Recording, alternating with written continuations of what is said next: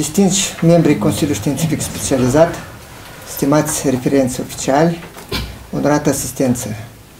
Conform scenariului uh, aprobat de ANACEC, trebuie să vă prezint membrii și referenții oficiali.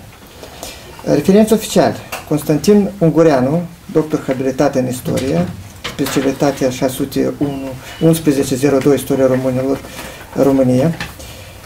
Gheorghe Negru, doctor habilitate în istorie, specialitatea Istoria Românilor, conferențiar cercetător, da, da, da. științific coordonator. Aici trebuie să menționez că Consiliul Științific Specializat D611-02 2346 a fost constituit în urmă deciziei ANACEC numărul 2 din 7 iulie 2023 și include următoare persoane. Cristina Gerasim, secretar, doctor în istorie, conferențiar universitar, Doctor habilitate în istorie, Institutul Patrimoniu Cultural, Igor Cireteu, doctor habilitate în istorie, Institut de Istorie, Ion Ieremie, doctor habilitate în istorie, profesor universitar, Universitatea de Stat din Moldova, Igor Șarov, doctor în istorie, conferențiar universitar, Universitatea de Stat din Moldova, Liliana Rotaru, doctor în istorie, conferențiar universitar, Universitatea de Stat din Moldova, Teodor Candu, doctor în istorie, conferențiar universitar, Universitatea de Stat din Moldova. Stimați colegi, avem prezenți uh, șase membri ai Consiliului Științific Specializat și doi referenți. Înseamnă că uh, avem quorum. Trebuie să vă menționez că uh, unul din membrii lipsește, din, uh, este în deplasare de serviciu, ceea ce reprezintă uh, regulamentul permite acest fapt, să se lipsească unul din membri. Vă informez că această ședință este publică, se transmite online uh, prin Institutul de Dezvoltare Societății Informaționale. Tot conform regulamentului, trebuie să vă prezint pretendentul la grad științific și să vă numesc tema lui. Stimați colegi, Consiliul Științific Specializat uh, este abilitat cu dreptul de a organiza susținerea publică a tezei, doctor, uh, doctor în istorie, domnul Ilie Gulcă, cu tema Învățământul primar și secundar în Basarabia, mijlocul secolului al XIX, începutul secolului 20, specialitatea 611-02, Istoria românilor, conducător științific, regretatul Gheorghe Palade, doctor în istorie conferențiar universitar, consultant științific Ion Gumeni, doctor habilitat în istorie, conferențiar universitar. Acum ofer cuvântul secretarului științific, doamnei doctor Cristina Gerasim, pentru a trece în revistă actelor prezentate în dosarul pretendentului. Vă mulțumesc mult, stimate domnule președinte, stimați membri ai Consiliului Științific Specializat. Dosarul prezentat la ANACEC pentru uh, confirmarea Consiliului Științific Specializat conține extrasele din procesele verbale ale Senatului Universității de Stat cu privire la confirmarea uh, temii, redactarea titlului tezii, precum și confirmarea și confirmarea consultantului științific.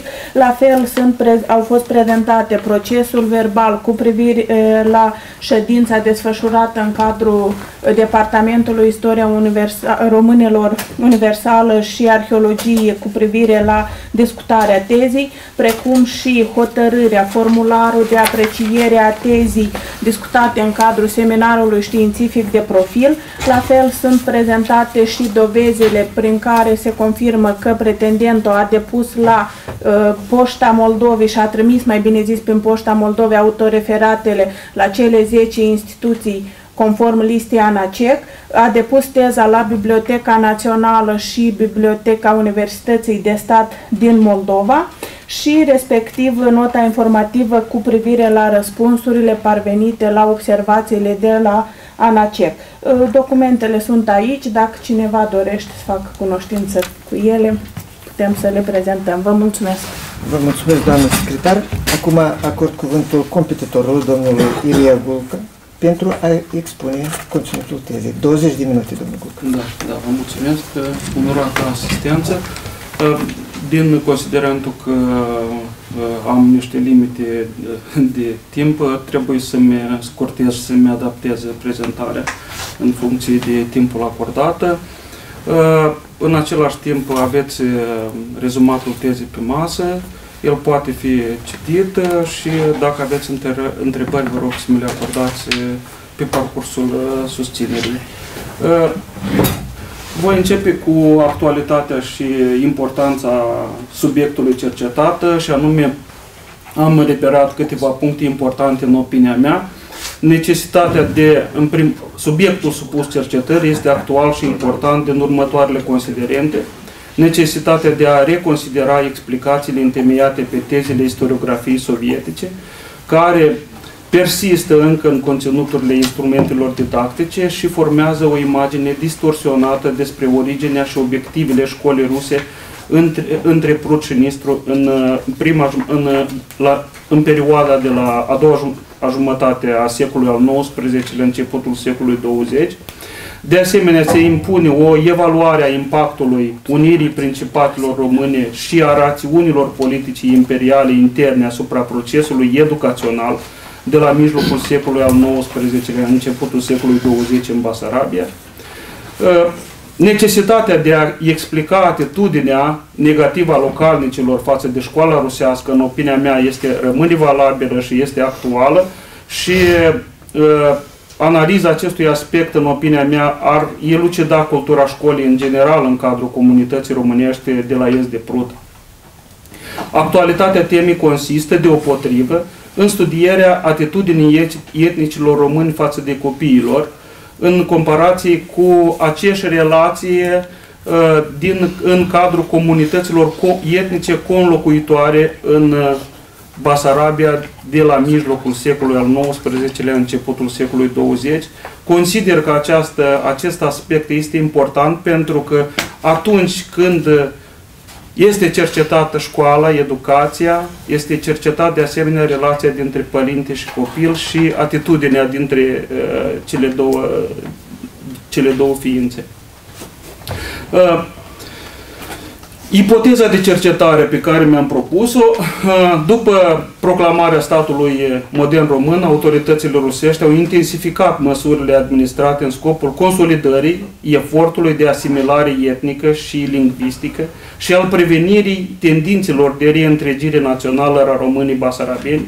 În, același, în, acela, în acest scop, responsabili de educație au recurs la o panoplie extinsă de metode din domeniul educativ, concertate cu reforme, cu reforme în domeniul social, administrativ și militar, urmărind o omogenizare conștientă și rapidă a localnicilor cu masa imensă a poporului rus, citesc cu, cu ghilimele de rigoare. Noutatea și originalitatea lucrării consistă în dezvăluirea unor strategii de omogenizare ale Imperiului uh, rus, pliate pe specificul Basarabiei, precum și în depistarea unor metode moderne de predare a limbii ruse între Prut și Nistru. Responsabilii școlari au identificat pentru Basarabia tipul optim de școală, școala ministerială model.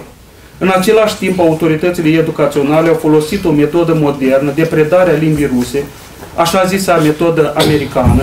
Factorii, factorii de decizie au încurajat folosirea alfabetului civil rus pentru limba română, au interzis în același timp folosirea cuvintelor de origine latină și au, și au insistat pe caracterul diferit al limbii vernaculare a basarabenilor în raport cu limba vorbită la vest de acest, la vest de, în, în partea dreaptă a Prutului. Această acțiune a avut menirea să împiedice dezvoltarea limbii române ca Uh, limbă literară între Prut și Nistru și să-i determine pe basarabeni să, se, să fie parte a lumii ruse, să fie integrați în, această, uh, în acest univers, dacă pot să mă exprim altfel. Uh, Recomand, propun domnului președinte ca compartimentul capitolul referitor la instrucțiunea publică în literatura de specialitate și sursele istorice să fie abordat în cadrul în cadrul perioadei în care voi răspunde la întrebările domnilor oponenți, întrucât dumnealor au uh, observații la acest capitol. Domnul și... Vulca, eu vă rog pe dumneavoastră să prezentați teza, nu să faceți recomandări președintelui Comisiei. Bine, eu am 20 Eu vă rog foarte bine, frumos. Bine. Așa. Uh, tezele Instrucțiunea publică în literatura de specialitate și sursele istorice. Mă, mă voi, voi sublinia în primul rând tezele principale ale, ale fiecărei istoriografii, pornind de la istoriografia țaristă, reprezentanții acestei istoriografii au, au urmărit în primul rând să justifice uh, anexarea Basarabiei atât la 1812 cât și, la 1000, și, cât și a județelor uh, uh, Cahul, Bolgrad și Ismail la 1878 și în același timp uh, reprezentanții acestei istoriografii au, uh, au justificat uh, acțiunile de asimilare și omogenizare etnică în, în Basarabia.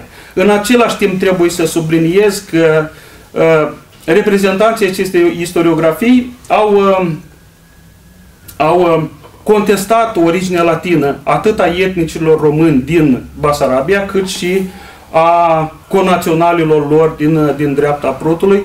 Uh, este o, o tendință care a fost constantă în, în cadrul uh, lucrărilor reprezentanților acestor istoriografii. Istoriografia uh, interbelică, uh, trebuie să spun că au fost uh, realizate o serie importantă de lucrări, dar ceea ce, uh, în opinia mea, uh, rămâne precar totuși este că reprezentanții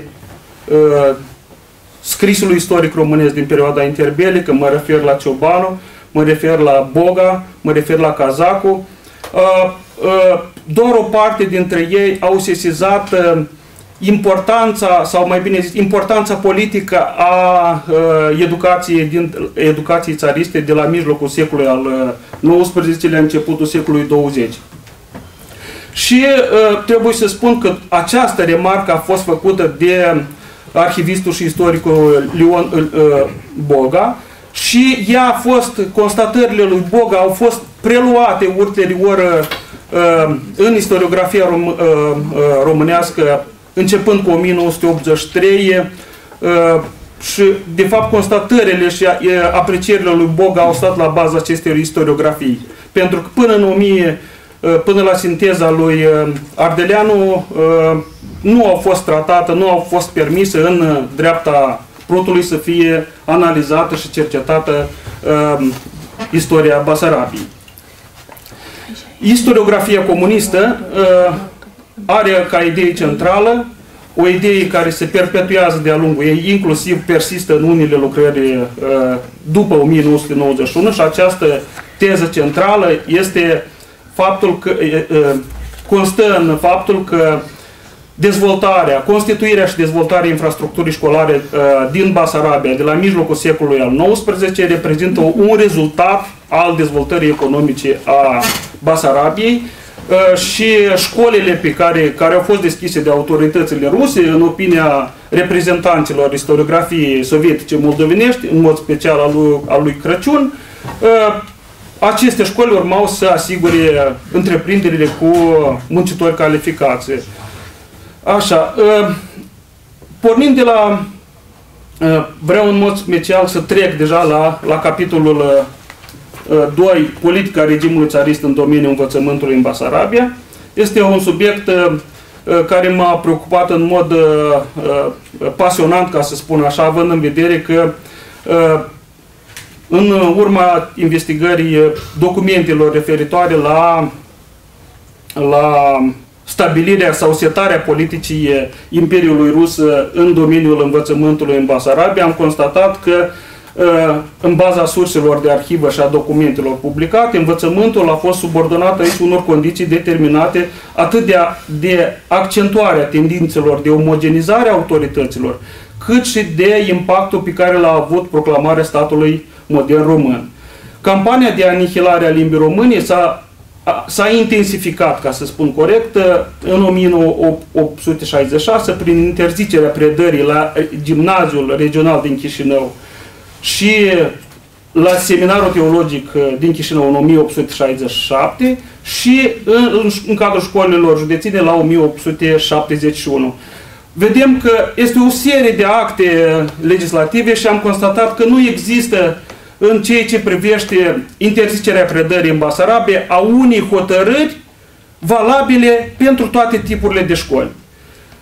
Toate interdicțiile de predare a limbii române după 1866 nu reprezintă toate deciziile, au un, au, sunt redactate după același calapod. Ele se motivează pe faptul că nu se, pre, nu se mai poate preda limba română în, institu, în școlile județene de, pentru că nu se mai, fea, nu se mai formează uh, profesori de limbă română la gimnaziul regional din Chișinău. Și în același timp nici nu există bani pentru, pentru, pentru a plăti profesor, învățătorul care să predea această, această disciplină. Prin urmare, uh, după cum am menționat, a recunoscut fostul director al, al uh, Direcției Școlilor Populare din Basarabia, în memoriile sale la 1902, el spune liber și tranșant că această de, lipsa acestei de unei asemenea decizii a fost uh, explicată prin uh, tendința, încercarea autorităților de a preveni o nemulțumire în cadrul uh, uh, etnicilor române din Basarabia. Pentru că întotdeauna a fost o o, o serie de, de reclamații, în special din partea nobilii, pentru a fi păstrată această a, a, predarea limbii române. Ceea ce este foarte important, în opinia mea, și ceea ce am reușit eu să, să, să, să, să consider un, uh, un element inedit, este faptul că autoritățile țariste, în condițiile în care lipsea un învățământ primar uh, gratuit și obligatoriu, autoritățile țariste au setat un cadru cronologic, un cadru juridic care le-a ajutat să deschidă o rețea de școli în Basarabia. Aceste, de, aceste școli,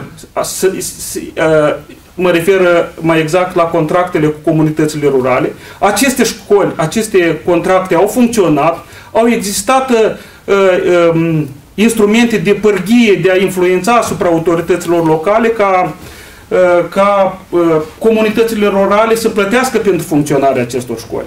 Și în al doilea rând, la fel de important este, este reforma militară de la 1874, care a oferit absolvenților institu tuturor uh, instituțiilor de învățământ primar privilegii sau reducerea termenului de serviciu militar. Anume acest, aceste, acest cadru juridic format din cele două, două doi factori, elemente pe care le-am uh, menționat mai sus, uh, potrivit uh, directorului școlilor populare din Basarabia, a obligat sau i-a convins pe basarabeni să meargă în aceste școli primare, indiferent de care, indiferent de tipul acestora. În, în, trebuie să menționez, pe fundalul, în contextul interzicerii predării limbii Uh, români în Basarabia, în contextul în care interzicerii publicațiilor în limba română, în contextul în care uh, uh, a fost interzisă inclusiv în 1905 predarea, uh, a fost respinsă revindicarea uh, privind uh, dreptul de a fi predată limba română în instituțiile de învățământ, observăm și țin să subliniez acest fapt, observăm în același timp permisiunea acordată preotului Mihail Ceachir să scoată la Chișinău un manual uh, ajutor care urma să-i ajute pe elevi să, studiază, să studieze limba, limba rusă, dar ceea ce este important, uh, partea uh, aparatul auxiliar și partea acestui instrument didactic în limba română, el este, are la bază cuvinte din fondul slav, el evită folosirea, uh, folosirea uh, uh, termenelor de origine latină.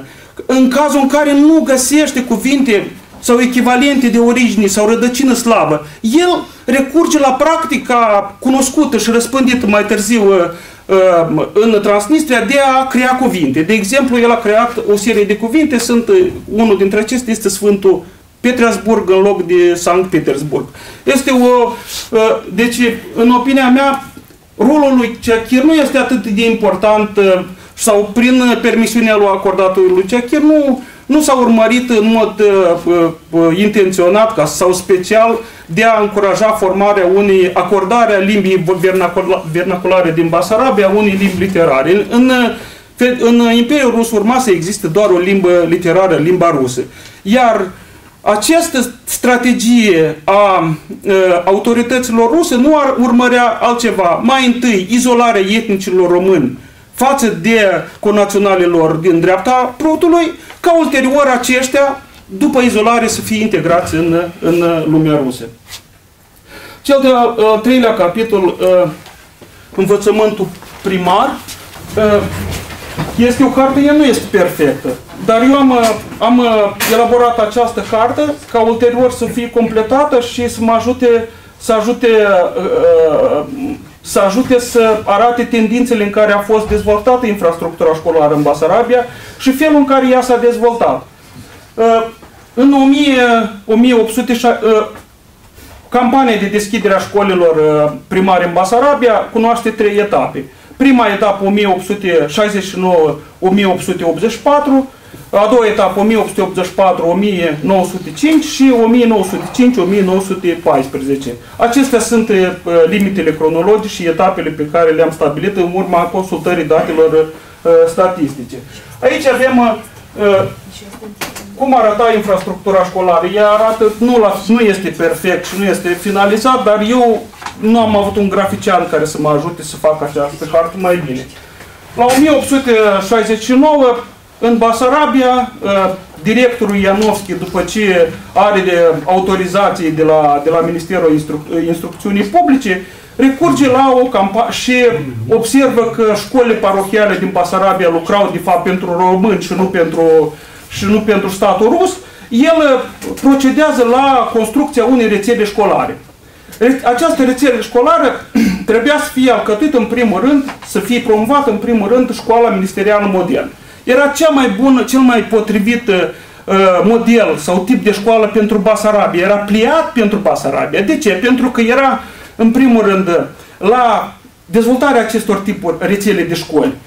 Exista uh, o, o școală, de exemplu, o școală de, de o clasă cu termenul de studii de uh, 3 ani și o școală de două clase, ministerială model, de două clase cu termen de studii de 5 ani, de fapt erau cele mai scumpe. Erau, erau angajați în cadrul acestui școli profesori cu studii, uh, erau asigurate cu mobilier, erau asigurate cu, dotate cu uh, uh, case special amenajate și autoritățile ruse considerau că după absolvirea, un absolvent a acestei școli uh, de 5 ani era un uh, supus rus bine format, bine plăsmuit și termenul, uh, termenul de minim de plăsmuire a unui supus rus era de 3 ani.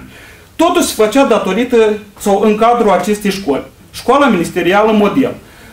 Școlile ministeriale model au fost deschise în, între 1860, pornind de la 1869 de către uh, Ianovski împreună cu uh, episcopul uh, Pavel Lebedev. El a avut, deși în perioada aceasta biserica într-un fel a fost, a fost uh, înlăturată de construcția rețelei școlare, Pavel Lebedev a avut un rol foarte important în dezvoltarea acestor uh, tipuri de școli și extinderea lor. El alegea uh, localitățile în care să fie deschise, el alegea, uh, făcea presiune pe inspectorii școlari ca ei să meargă să, să convingă staroții de sat să plătească, să și sancționa pe cei care nu, nu, nu își făceau, nu își făceau datoriile. Concluziile, domnul, la teză. Concluziile de Da, imediat.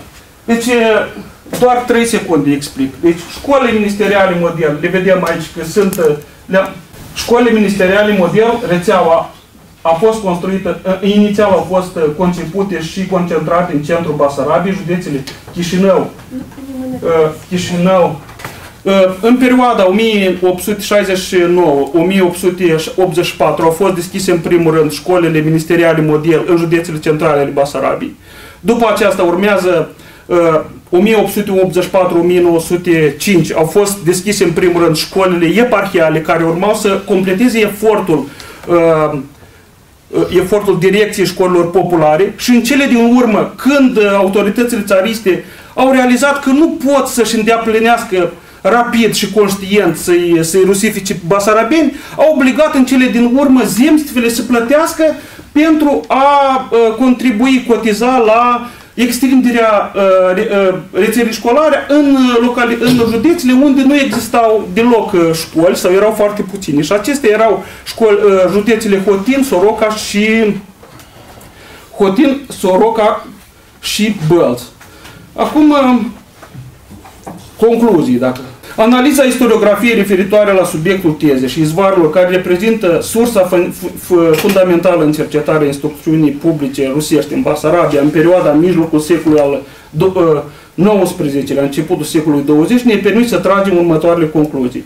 Deși problema instrucțiunii publice s-a bucurat de o atenție sporită, scrisul istoric s-a detașat adesea de contextul politic și a fost marcat pregnant de contemporaneitate. Istoricii care au dat tonul istografiei țariste au instrumentalizat scrisul istoric pentru a justifica acțiunile de rusificare uh, ale autorităților ruse în Basarabia.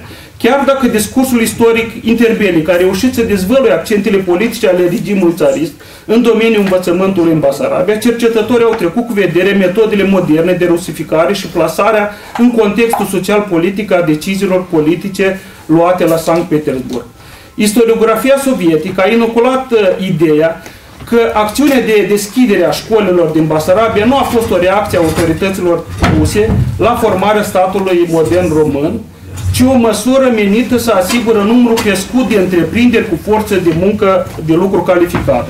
După 1991, deși au, au pus acțiunile, uh, acțiunile autorităților ruse în contextul dezvoltării statului modern român, cercetătorii au atribuit un rol exagerat rusificării în determinarea, în determinarea analfabetismului masiv, ignorând cultura precară a școlii în trecutul național românesc. În contextul proclamării statului modern uh, român, am demonstrat că învățământul în Basarabia a fost subordonat în condiții deosebite, care necesitau măsuri excepționale. Autoritățile au interzis treptat și precaut predarea limbii române în toate instituțiile de învățământ. În paralel, responsabile școlare au procedat la edificarea unei infrastructuri școlare menite să aibă rolul unui vehicul de asimilare lingvistică. Recensământul de la 1800, 1897 uh, a înregistrat un uh, analfabetism masiv între etnicii români. Aceeași realitate a fost înregistrată în România, Grecia, Serbia, Bulgaria, state care aveau la școală națională și care adoptaseră legislația cu privi, privind uh, învățământul primar obligatoriu. Handicapul științei de carte la românii basarabeni a fost accentuat de interdicția autorităților ruse de a preda în limba maternă a populației. Un argument în acest sens este faptul că în momentul în care protestanții din Imperiul Rus au fost obligați să învețe și ei în limba rusă, începând cu anii 1880, în cadrul societăților lor a început să crească numărul de analfabeți. Rețeaua școlilor secundare s-a dezvoltat anevoios, fiind favorizați elevii în funcții de origine socială și națională. Etnicilor români și evrei le-a fost aplicat un caracter discriminatoriu și ofensator.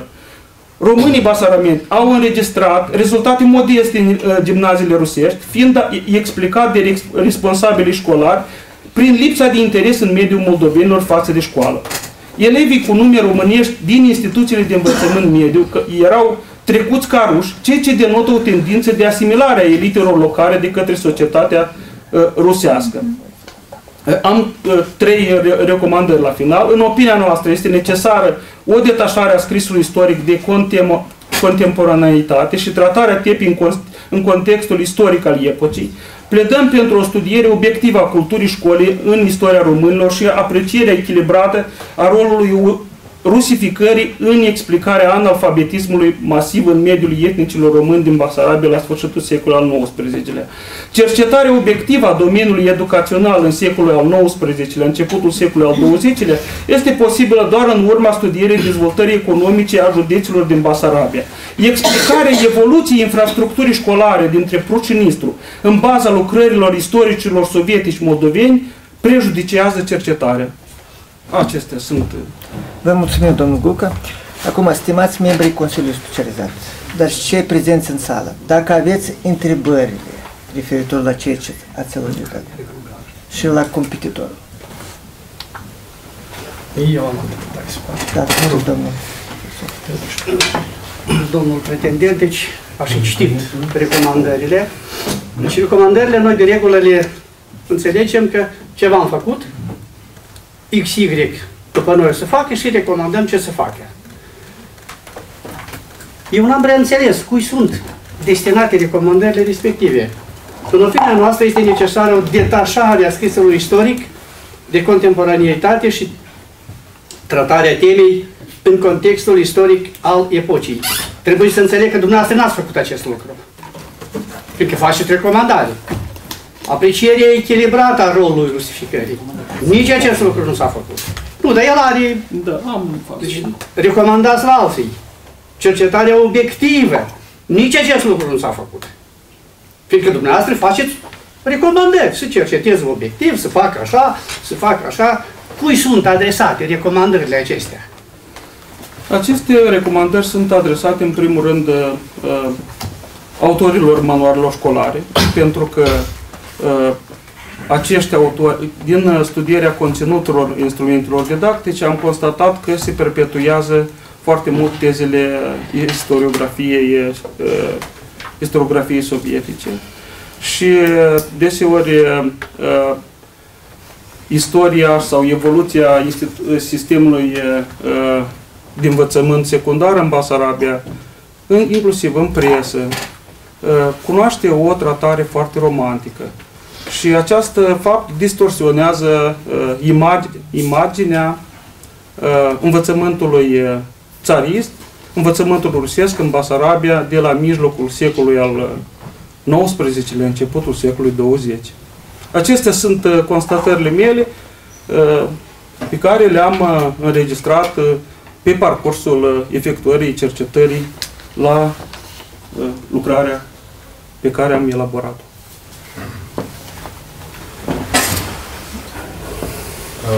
O întrebare ar ține, în primul rând, cred că am mai adresat-o, dar ar fi interesant pe publicul larg. Prin ce se explică faptul că autoritatea politica educațională a Imperiului Țarist a suferit eșec, iar politica educațională a Imperiului Sovietic a avut uh, în linii mari câștig de cauză în uh, procesul de educație și crearea omului sovietic. Asta este o întrebare. Și a doua ține în primul rând de rețeaua de școli. Rețeaua de școli din perioada țaristă a avut vreo continuitate în perioadele imediat următoare după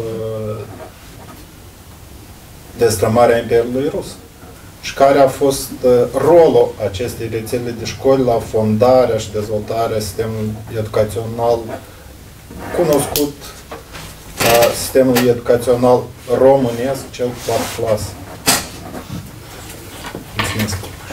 Vă mulțumesc pentru întrebare. Uh, da, dați-le voi și la alți colegi să dea întrebările și pe mine Da, nu reușesc să le memorez. Îmi permiteți să răspund?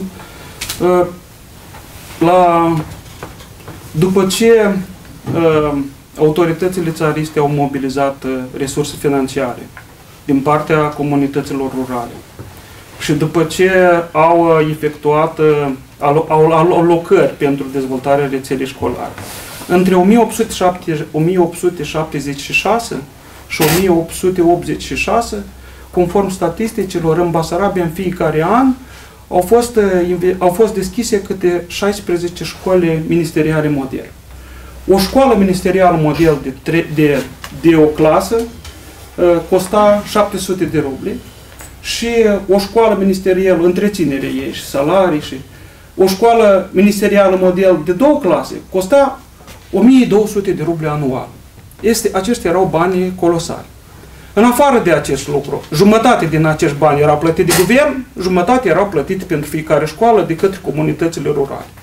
În afară de aceste cheltuieli, care, în opinia mea, având în vedere că statul rus nu prea s-a preocupat de învățământ, dar a făcut aceste investiții în Basarabia, la 1890, în urma vizitului uh, guvernatorului Rup în, în Basarabia, el constată, uh, uh, rămâne perplex că în Basarabia nu se vorbește deloc românește sau foarte prost. Și atunci... Rusește. Pardon, rusește. Și atunci uh, au fost făcute demersuri către guvernatorul Constantinovici și uh, uh, același lucru, uh, la aceleași întrebări a răspuns și uh, uh, preotul, uh, inspectorul școlar uh, Mihail Cechir. Autoritățile țariște n-au reușit să penetreze spațiul intim, spațiul familial. Tot ce au reușit ei să, să toate cheltuielile lor se limitau la spațiul uh, public, în timp ce în spațiul, uh, în spațiul familial nu au ajuns. Așa se explică faptul că doar un procent din, uh, din femei știau rusește, erau, alfabetiz, erau sinonim de fapt. A fi alfabetizat și rusificat era o, o, în, în accepția rusească. Pentru că bărbații ieșeau în spațiu public, stăteau la crâșme, stăteau peste tot și ei erau vorbeau mai bine rusești sau înțelegeau, făceau serviciu militar, iarăși un mediu în care. În timp ce femeia, stând în căminul familial, nu putea să, să fie rusificată și au fost formulate critici foarte vehemente față de femeie, față de româncă, etichetată, blamată, pentru faptul că nu este, uh, nu învață rusești. Ce au făcut sovieticii? Prin televiziune, prin radio, au penetrat spațiul intim. Și astfel, în opinia mea, uh, asistăm la succesul sovieticilor și la insuccesul uh, uh, autorităților țariste. Uh, la cea de-a doua întrebare, vreau să vă răspund că școala publică apare în Grecia Antică. Școala publică nu înseamnă infrastructură. Școala publică înseamnă un volum de cunoștințe și profesori care transmit aceste cunoștințe. Nu înseamnă bănci, nu înseamnă altceva. Trebuie să avem un volum de cunoștințe pe care să le putem preda. Observăm, constatăm că infrastructura școlară pe care le-au moștenit și astăzi. Întâlnim foarte multe în Basarabia, s-au păstrat foarte multe școli de zemță, inclusiv la mine în sat. Clădirile. Clădirile, da. Observăm că în Basarabia, după unificare, au fost deschise instituții de învățământ care au moștenit o anumită tradiție uh, din țarism. Mă refer mai aici la învățământul teologic, existând cultura învățământului teologic, uh, existând școlile eparhiale, seminarul teologic, după aceasta urmează școlile agricole. Iarăși avem facultate de agronomie deschisă la 1936, iar în baza aceleși, aceleși tradiții acumulate. Așa îmi explic eu. Dar uh, infrastructura școlară este importantă, dar în opinia mea nu este la fel de importantă ca să ai profesori. Să ai uh, un volum de cunoștință pe care să-l transmiți. Din generație în generație. Asta este opinia mea. Vă mulțumim. Încă, dacă doamna doctoră, dacă... Domnule aspirant, întrebarea mea reiese din prima întrebare a domnului Canu. Dumneavoastră, atunci când examinați factorii care au contribuit la menținerea analfabetismului în Basarabia, vorbiți de mai mulți. Da, ați clasificat acolo comuni pentru Europa de Est, Sud, Est, comuni pentru anumite regiuni din sau guvernii din Rusia și specifici din Basarabia. Și evidențiați factorul specific pentru Basarabia, spunând că factorii care au cauzat și favorizat analfabetismul cras al românilor basarabeni este atitudinea refractară față de școala rusească, Populația avea convingerea că așezămintele educaționale rusești nu aveau cum să le satisfacă nevoile. Deci am adunat din mai multe locuri, nu neapărat am să vă zic paginile acum. Și aș vrea să vă întreb cum demonstrați acest lucru, adică dacă aveți unul, două argumente în favoarea acestui factor uh, pe care îl evidențiați, pentru că mm, pentru mine nu au fost suficiente cele pe care le-am regăsit în textul tezei dumneavoastră. Și a doua întrebare este mai mult una de concretizare. Uh, atunci când am am citit uh, capitolul cu privire la istoriografie, am rămas impresionată să nu găsesc câteva nume care știu că au cercetat această temă sau în paralel cu dumneavoastră o temă, te, tema școlilor primare și secundare și vorbesc în primul rând de Tatiana Chicaroș și Diana Iescu. S-ar putea să fie și alte nume, dar astea mi le-am mai mintit la moment. Care a fost cauza că nu, nu se regăsesc în istoriografie, analiza dumneavoastră istoriografică? Mulțumesc! Da, vă mulțumesc pentru întrebare. Atitudinea Uh, atitudinea refractară a etnicilor basarabene, etnicilor români față din Basarabia față de față de școală, față de instituția școlii, este proprie culturilor în care domină cultura tradițională, este proprie în care este proprie uh, uh, popoarelor uh, care țin de tradiția satului, a ruralului. Chiar și dacă an, analizăm, uh, analizăm când a fost adoptat, în a doua jumătate, în anii 70, dacă nu mă înșel, a fost adoptat învățământ obligatoriu în Franța, era, exista o problemă foarte, foarte tensionată. Și anume, părinții care își crescuseră uh, uh, care își crescuseră copiii în familie, aveau o temere să-și dea, predea copiii să, să învețe la școală să-și încredițeze educația lor uh, copiilor uh, uh, unor persoane străine. Ce s-a întâmplat în Basarabia? În Basarabia, atitudinea negativă față de școala rusească, poate bănuiesc și față de școală în general, este faptul că merge până la violență. Astea sunt două lucruri diferite. Da. Deci eu am accentuat față de școala rusească că există o, re, o re, atitudine refractară față de școală, este un fapt constatat și bine da. cunoscut. Dar dumneavoastră ați subliniat față de școala rusească. Față de școala rusească pentru că am întâlnit foarte multe cazuri, în foarte multe cazuri consemnate de inspectorii școlari, când uh, copiii sau părinții mergeau până la violență ca să-și uh, refuze să-ți dea copiii la școală. Dar de ce nu le găsim în teză? Ele sunt, în, uh, sunt la capitolul reușita elevilor moldoveni în, uh, în școlile ruse. Sunt două situații în care uh, înșiși uh, este o situație consemnată într-un sat din județ Soroca, unde învăță, consătenii omoară o învățătoare, da, dar o omoară pentru că a furat 100 de ruble. Eu am citit nu, foarte da, bine lucrarea dumneavoastră. Da. Până la urmă mai există Până la urmă mai există o altă situație în raion, în uh, județul Bender, în care uh, este foarte interesant faptul că uh, inspectorul școlar explică cum înțelege părinții moldoveni școala, ce reprezintă școala ei subliniază, el subliniază că părinții, că școala în opinia lor reprezintă ca o dare, ca un impozit.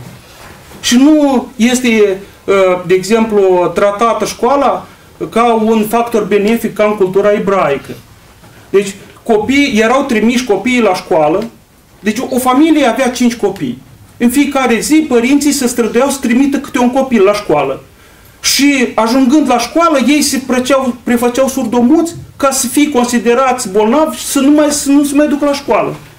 Asta mă, uh, și acest fapt, uh, uh, această atitudine este consemnată nu numai la etnicii români din, din Basarabia, în toate culturile tradiționale atunci când mă refer la școală. De ce, întrebarea mea, nu știu, eu mă întreb, haideți să discutăm, de ce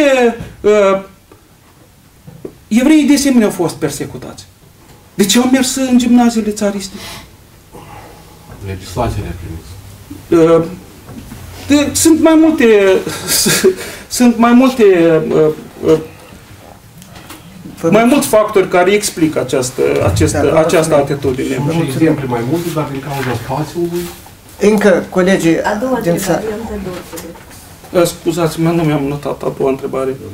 De ce în, în analiza dumneavoastră ah. historiografică nu se găsește? Eu, a fost o, scă, o scăpare și fapt, îmi cer scuze. În textul, în, în capitole, sunt citate, este citat lucrările domnului Chicaroș, da. doamnei da. Chicaroș și a domnului Valentin Tomuleț. Uh, în același timp, uh, uh studiile celorlalte, m-am străduit să citez în primul rând, dacă m-ați întrebat de doamna, doamna Tiana Iețco, uh, studiile dumneai vizează învățământul teologic. Eu nu am abordat în cadrul... Nu, are lucrări cu privire la învățământul în a doua jumătate secolului al XIX.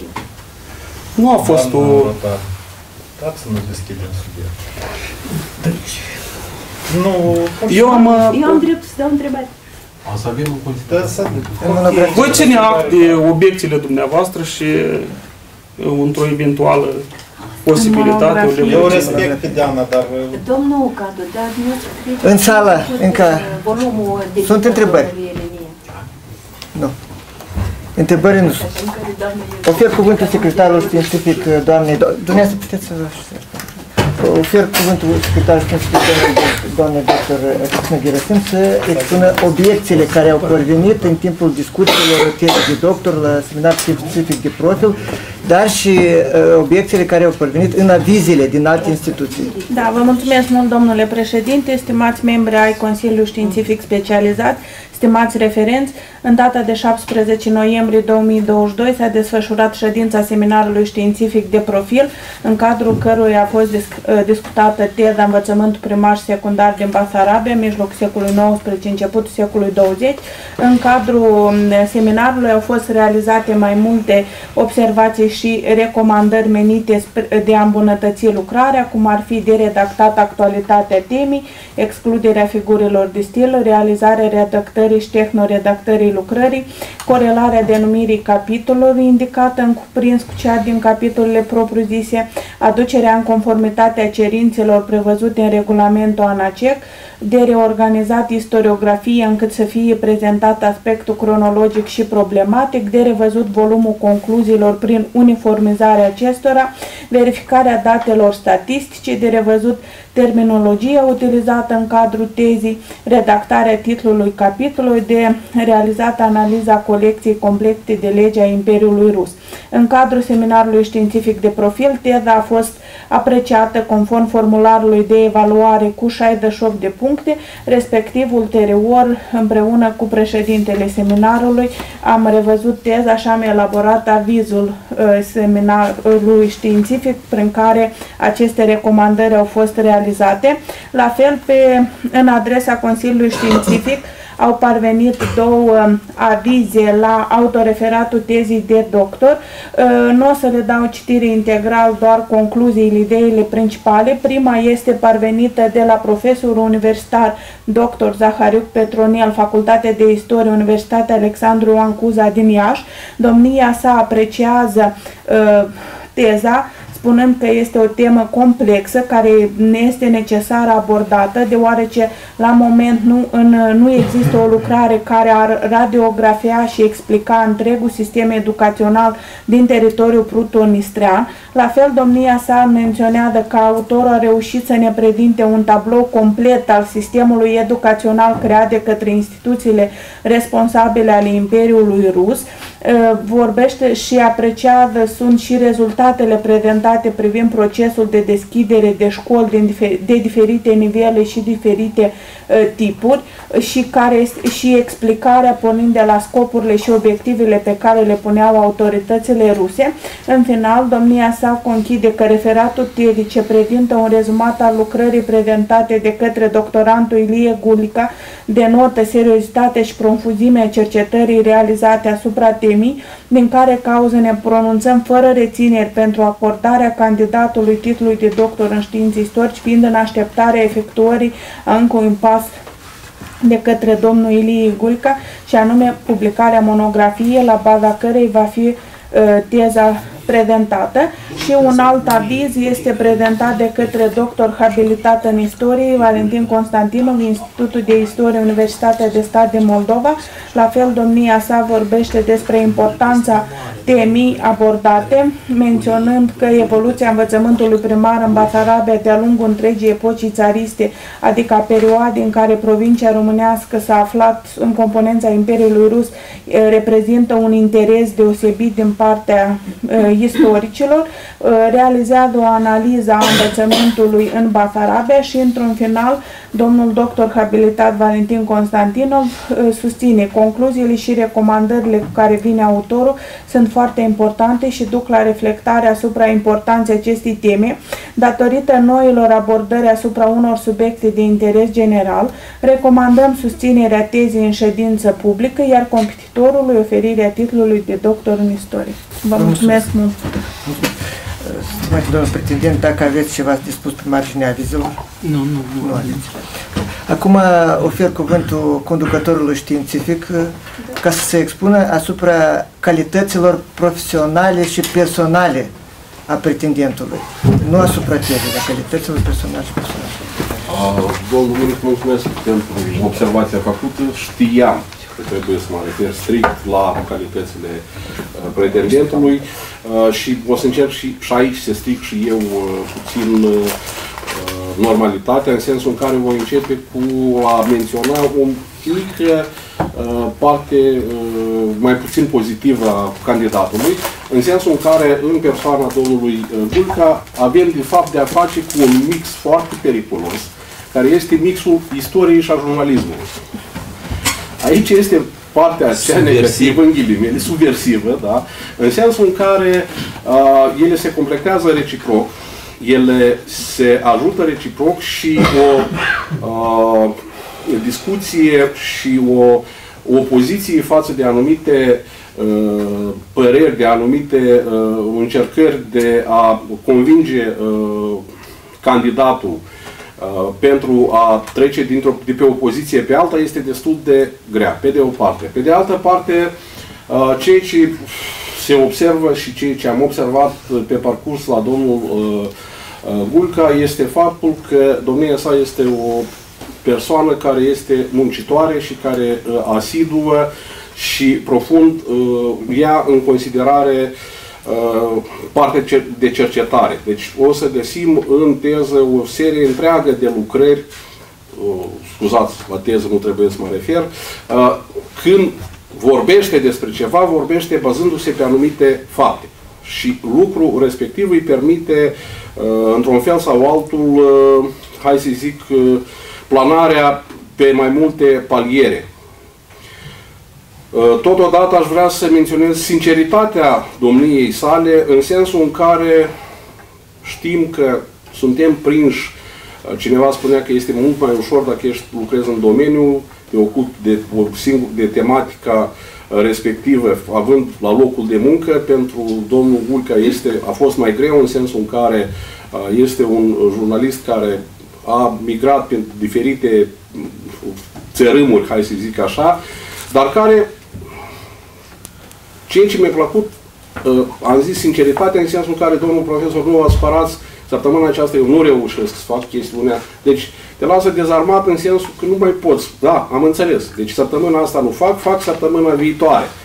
Și încerca în linii majore să se conformeze graficul, graficului pe care îl stabilea. Ceea ce, într-un fel sau altul, este, aduce la o conlucrare mult mai uh, ușoară și mult mai, uh, dacă doriți, uh, compatibilă din ambele uh, părți de, uh, de, ambele, uh, de pe ambele poziții.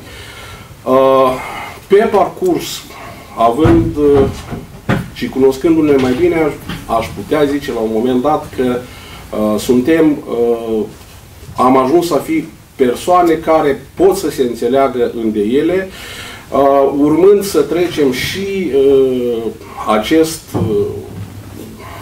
barier de astăzi și sper că pe viitor să rămânem în continuare buni prieteni și uh, colegi pe palierul cercetării, fiindcă jurnalist de mine, scuzați, dar nu cred că se va primi.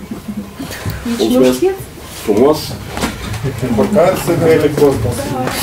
Vă mulțumim, domnul Gumene.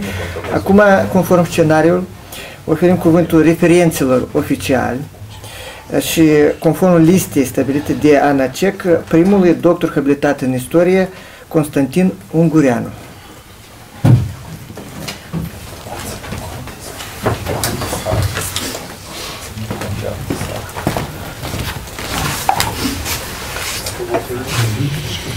Domnule președinte al Consiliului Specializat, stimați membri ai Consiliului, onorat asistență. Vreau mai întâi să mulțumesc pentru invitația de a participa la susținerea acestei teze de doctorat și pentru că am fost uh, propus în funcție de referent oficial la teze de doctorat a domnului Ilie Gulica.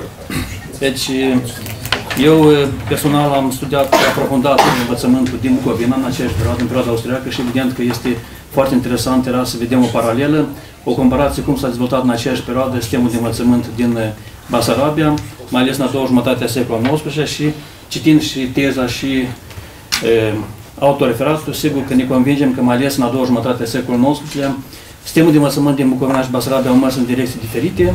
Deci dacă în Bucovina s-a dezvoltat un sistem de învățământ multilingvistic, cu mai multe limbi de instruire și a avut un efect într-adevăr foarte bun, atunci în Basarabia, din potrivă, a mers pe ideea rusificării și evident că și rezultatele au fost mult mai modeste. În continuare, în continuare voi da citire avizul la această teză. Sunt șase pagini, nu voi citi chiar integral, cele mai importante chestii. În ultimii decenii a existat un interes sporit față de trecutul istoric al Basarabiei în perioada stăpânirii rusești. Acest interes a fost determinat atât de schimbările sociopolitice și culturale ce s-au produs în spațiul românesc după prăbușirea regimului comunist și destrămarea URSS, cât și datorită discursurilor contradictorii în literatura istorică față de unele aspecte din trecutul provinciei dintre Prut și Nistru. Problematica sistemului de învățământ din Basarabia, în secolul XIX, începutul secolului 20, s-a aflat în centrul preocupărilor mai multor istorici din Republica Moldova. Ilie Gulica este unul dintre istorici din Moldova, care în ultimii ani a cercetat diferite aspecte ale învățământului primar și secundar din Basarabia în epoca modernă și a publicat mai multe articole la această tematică. Teza de doctorat Învățământul primar și secundar din Basarabia, mijlocul secolul XIX, începutul secolul 20, elaborată de Ilie Gulica, se referă la un subiect foarte important din istoria românilor basarabeni, care nu au avut posibilitatea atunci să dispună de învățământ măcar primar în limba maternă. Cercetările obiective, bazate pe surse documentare, edite și inedite, comparate cu alte provincii locuite de români, ne vor permite să înțelegem mai bine cauzele analfabetismului foarte mare a locuitorilor din Basarabia la începutul secolului 20-lea, dar și a existenței până în prezent a discuțiilor privind denumirea limbii sau apartenența etnică a românilor moldovenilor de Republica Moldova.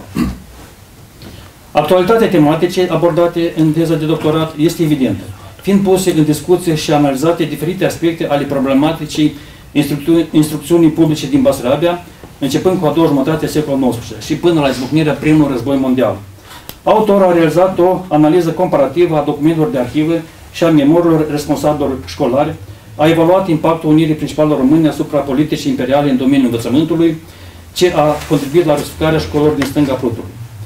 Ehm, Ilie Gulica investigează comportamentul populației majoritare din Basarabia față de instituțiile școlare rusești, prin comparație cu poziția altor comunități etnice din regiune, pentru a identifica factorii care au determinat analfabetismul foarte mare a etnicilor români dintre Prut și Nistru cercetătorul Ilie Gulicu supune unei analize minuțioase și critice, izvorile arhivistice, punând în circulație informații de reală valoare istorică asupra temei cercetate. El constată că, prin intermediul învățământului secundar rusesc, autoritățile ruse au urmărit obiectivul de a forma o nouă elită basarabeană, rusească și rusificată. Pentru realizarea scopului și obiectivelor cercetării, autorul tezei de doctorat a utilizat un șir de metode specifice cercetării istorice. Caracterul inovator al tezei competitorului nu poate fi pus la îndoială. Lucrarea de față fiind o investigație științifică în care se abordează o, o complexitate de aspecte cu referire la evoluția învățământului primar și secundar din Basarabia, începând cu anii 50-60 ai secolului al XIX-lea, când s-a accentuat politica de rusificare a sistemului de învățământ. Publicațiile autorului la tema de cercetare, tipărite în reviste și anuare științifice recenzate din Republica Moldova, corespund subiectului tezii. Problematica științifică soluționată constă în studierea critică a surselor istorice cu referire la evoluția instrucțiunii publice rusești din Basarabia și impactul acesteia asupra locuitorilor provinciei. Autorul tezei scoate în evidență politica autorităților de a dezvolta o infrastructură școlară în care școlile ministeriale trebuiau să joace rolul principal de asimilare lingvistică a românilor basarabeni. Totodată, Ilie Gulica ajunge la concluzia că fenomenul analfabetismului masiv răspândit în mediul românilor basarabeni era o trăsătură specifică culturilor rurale și din alte țări, în special din Balcani. Importanța teoretică și practică a tezei de doctorat constă în faptul că datele colectate și rezultatele obținute de cercetător pot fi valorizate pentru elaborarea unor lucrări de sinteză în domeniul istoriei social-politice și culturale a Basarabiei în epoca modernă, pot fi introduse în cadrul unor cursuri universitare speciale de istorie și pedagogie, pot fi utilizate pentru realizarea unor lucrări de licență, disertație și masterat și teze de doctorat.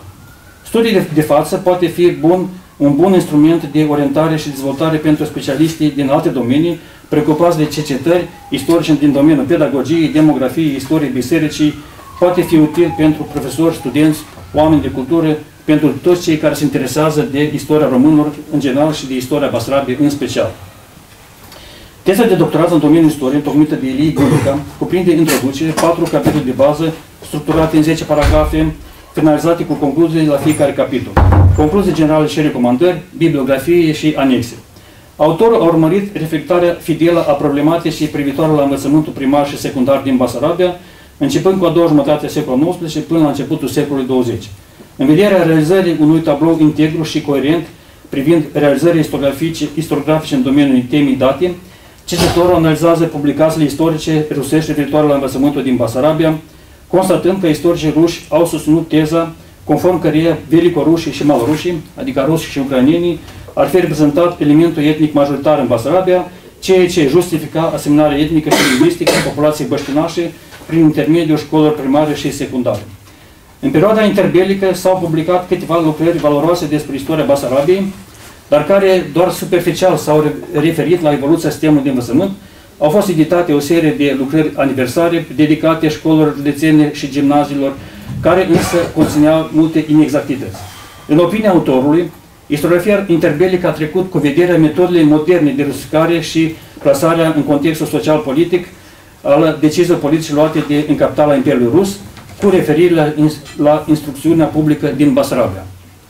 În continuare, autorul prezintă felul în care problematica învățământului din Basarabia a fost reflectată în istoriografia comunistă, care în mare a inoculat ideea falsă că acțiunea de deschidere a școlilor din Basarabia a fost o măsură înmenită să asigure cu forță de muncă calificată număr tot mai mare de întreprinderi industriale și nu o acțiune a autorităților ruse de a rusifica populația băștinașă din, prin intermediul învățământului. Competitorul Ilie Gulica este de părere că mișcarea de deschidere a școlilor rusești în Basarabia a fost o principală reacție a autorităților ruse la proclamarea statului modern român. Referindu-se la istoriografia românească contemporană, autorul tezei analizează două lucrări valoroase a unor istorici din România, care prezintă informații despre deschiderea școlilor primare în județele Cahul, Bolgrad și Ismail din sudul Basarabiei. Sunt analizate studii și articole despre învățământul și mișcarea națională elaborate de istorici din Republica Moldova, dar sunt omise sau prezentate doar sub segmentarul lucrărilor altor specialiști cu referire la problematica învățământului primar și secundar din Basarabia, ceea ce deja s-a și menționat. Concluzia autorului este că problematica școlii primare și secundare rusești din Basarabia a fost studiată precar și izolat în context istoric. Cât privește sursele istorice, autorul a utilizat un număr mare de documente din fondurile arhivei de la Chișinău, cu referire la diferite aspecte ale evoluției învățământului public din Basarabia în perioada stăpânirii rusești. În capitolul 2, intitulat Politica regimului țarist în domeniul învățământului în Basarabia, autorul analizează politica educațională a autorităților ruse în Basarabia în perioada 1866-1900, reieșind din contextul Unirii Principală Române. Prezintă tentativele de predare în limba română după producerea evenimentelor revoluționare din anul 1905. Bazându-se pe surse publice și documente de cercetate în arhivă, Ilie Gulic ajunge la concluzia că Unirea Principală Române a constituit o oportunitate pentru autoritățile de a justifica o rusificare mai accentuată a sistemului de învățământ din Basarabia, iar deciziile luate în privința limbii române au urmărit scopul de asemnare lingvistică a moldovenilor. Revendicările din 1905 și 1910 de introducerea instruirii în limba română măcar în școlile primare cu o clasă au fost respinse de autorități, iar moldovenii, alături de ucrainieni și beloruși, nu au avut dreptul de învățământ și tipărituri în limba maternă. În capitolul 2, cu titlul Învățământul primar, doctorantul cercetează legislația învățământul primar și tipul de școli, investigează campania de deschidere a școlilor ministeriale, se referă la reușita elevilor moldoveni în școlile primare ruse din Basarabia. Autorul tezei evidențiază diferențele existente la diferite tipuri de școli, prezintă diferite statistici despre sumele suportate pentru deschiderea școlilor, constată reducerea influenței bisericii asupra procesului de instruire în școli în perioada 1861-1884. Procese similare producându-se atunci, de asemenea, în vechiul regat și sau Bucovina. Însă, după, după 1884, în contextul consolidării regimului autoritar, autocrat, Biserica Ortodoxă Rusă a edificat o rețea de școli parochiale după modelul școlilor ministeriale, cele mai multe astfel de școli fiind deschise în județul din nordul și centrul Basarabiei. Bazându-se pe o sursă de arhive, Ilie Gulica prezintă un șir de statistici valoroase despre numărul de școli primare și contingentul de elevi în diferiți ani, evidențiază numărul de școli și elevi pentru diferite tipuri de școli sau la nivel de județe. A elaborat câteva tabele statistice și cărți școlare incluse în anexe. Deși datele statistice sunt incontroversate, bunoare pentru anul 1901, ele demonstrează o creștere treptată a copilului care frecventau școlile primare din Basarabia. Se impunea elaborarea unor tabele generale sau de sinteză, cu date comparative pentru diferiți ani, diferite tipuri de școli sau la nivel de județe, ceea ce ar fi reflectat mai convingător evoluția învățământului primar din Basarabia. Totuși, reușita elevilor a fost sub așteptările autorităților, foarte mulți copii erau înscriși în școli, dar în realitate nu le frecventau. Iar din cauza lipsei învățământului în limba maternă, nivelul de analfabetism în rândul populației, mai ales a românului basarbeni, a fost foarte mare. În capitolul 4, intitulat Învățământul secundar, Ilie Gulic analizează legislația și programele de învățământ în școlile secundare, prezintă evoluția învățământului în școlile medii, se referă la predarea istoriei în instituțiile de învățământ secundare din Basarabia. Autorul scoate în evidență diferențele existente între gimnaziile clasice și școlile reale, se referă la tipul de școli pro-gimnazii, care erau instituții de învățământ secundare incomplete doar cu patru clase inferioare. Compară programele școlare conform regulamentelor din 1864 și 1899. Rețeaua de școli secundare din Basarabia a evoluat de la o singură instituție de învățământ la mijlocul secolului XIX la 36 de școli în 1914.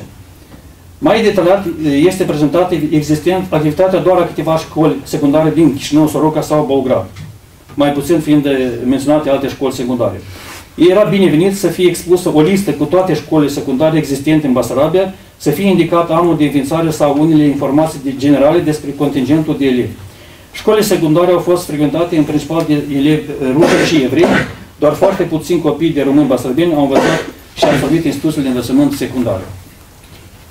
Teza de doctorat elaborată de Ilie Gulic, care prezintă o cercetare de abordare complexă a învățământului primar și secundar din Basarabia în timpul administrației rusești. Textul lucrării este unic, uh, unul logic, coerent și accesibil, încadrându-se în tiparele discursului științific. Teza este scrisă într-o limbă literară, este originală după formă și conținut. Concluziile generale uh, derivă logic din conținutul lucrării, sunt clare și fundamentare, fundamentate, fiind structurate conform expunerii materialului factologic. Recomandările elaborate sunt mai puțin reușite, în opinia noastră sunt niște fraze um, care de cum s-a și pus aici întrebarea, deci probabil că trebuia fi reformulate, în opinia mea. Lucrarea prezentă, prezentată de Ilie Gulica este rezultatul unor cercetări temeinice și prezintă o valoare științifică inovatoare.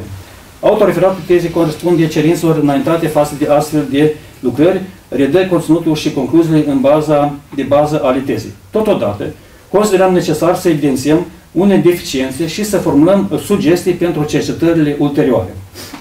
Și anume, 1. Considerăm că în partea introductivă este analizată insuficient, mai ales istoriografia rom contemporană românească, fiind omise studii și articole despre învățământul primar și secundar din Basarabia, publicate recent de istorie din Republica Moldova. S-a și spus deja, deci am spus, precum Tatiana Chicaroș, Valentin Tomuleț, Diana Isco, Vasilie Curețu, Alexandru Argent. Am numerat doar câțiva din autorii care, într-adevăr, au scris lucrări despre învățământul primar și secundar și care nu se regăsesc atât în lista biografică cât și în conținutul tezei, mai, sau mai puțin se găsesc. 2. Pentru a înțelege mai bine evoluția sistemului de învățământ din Basarabia în a doua jumătate a secolului al XIX-lea, era binevenit să fie prezentat măcar foarte succint, câteva pagini, situația învățământului din acest spațiu în primele decenii de stăpânire rusească. Deci, fără aceasta, este mai greu de înțeles evoluția învățământului în a doua jumătate a secolului al XIX-lea. 3. Lucrarea, lucrarea ar fi avut doar de câștigat ca valoare dacă se studia mai detaliat dezvoltarea învățământului primar în județe din sudul Basarabiei, Cahul, Bolgrad și Ismail, în cadrul României, în perioada 1867-1878, deci foarte succint aici se prezintă, dar anume în sudul Basarabiei atunci s-a făcut modernizarea inclusiv prin domeniul învățământului și fiind aceeași perioadă, o comparație mai detaliată ar fi fost binevenită pentru a înțelege cum a evoluat învățământul în Basarabia rusească. 4.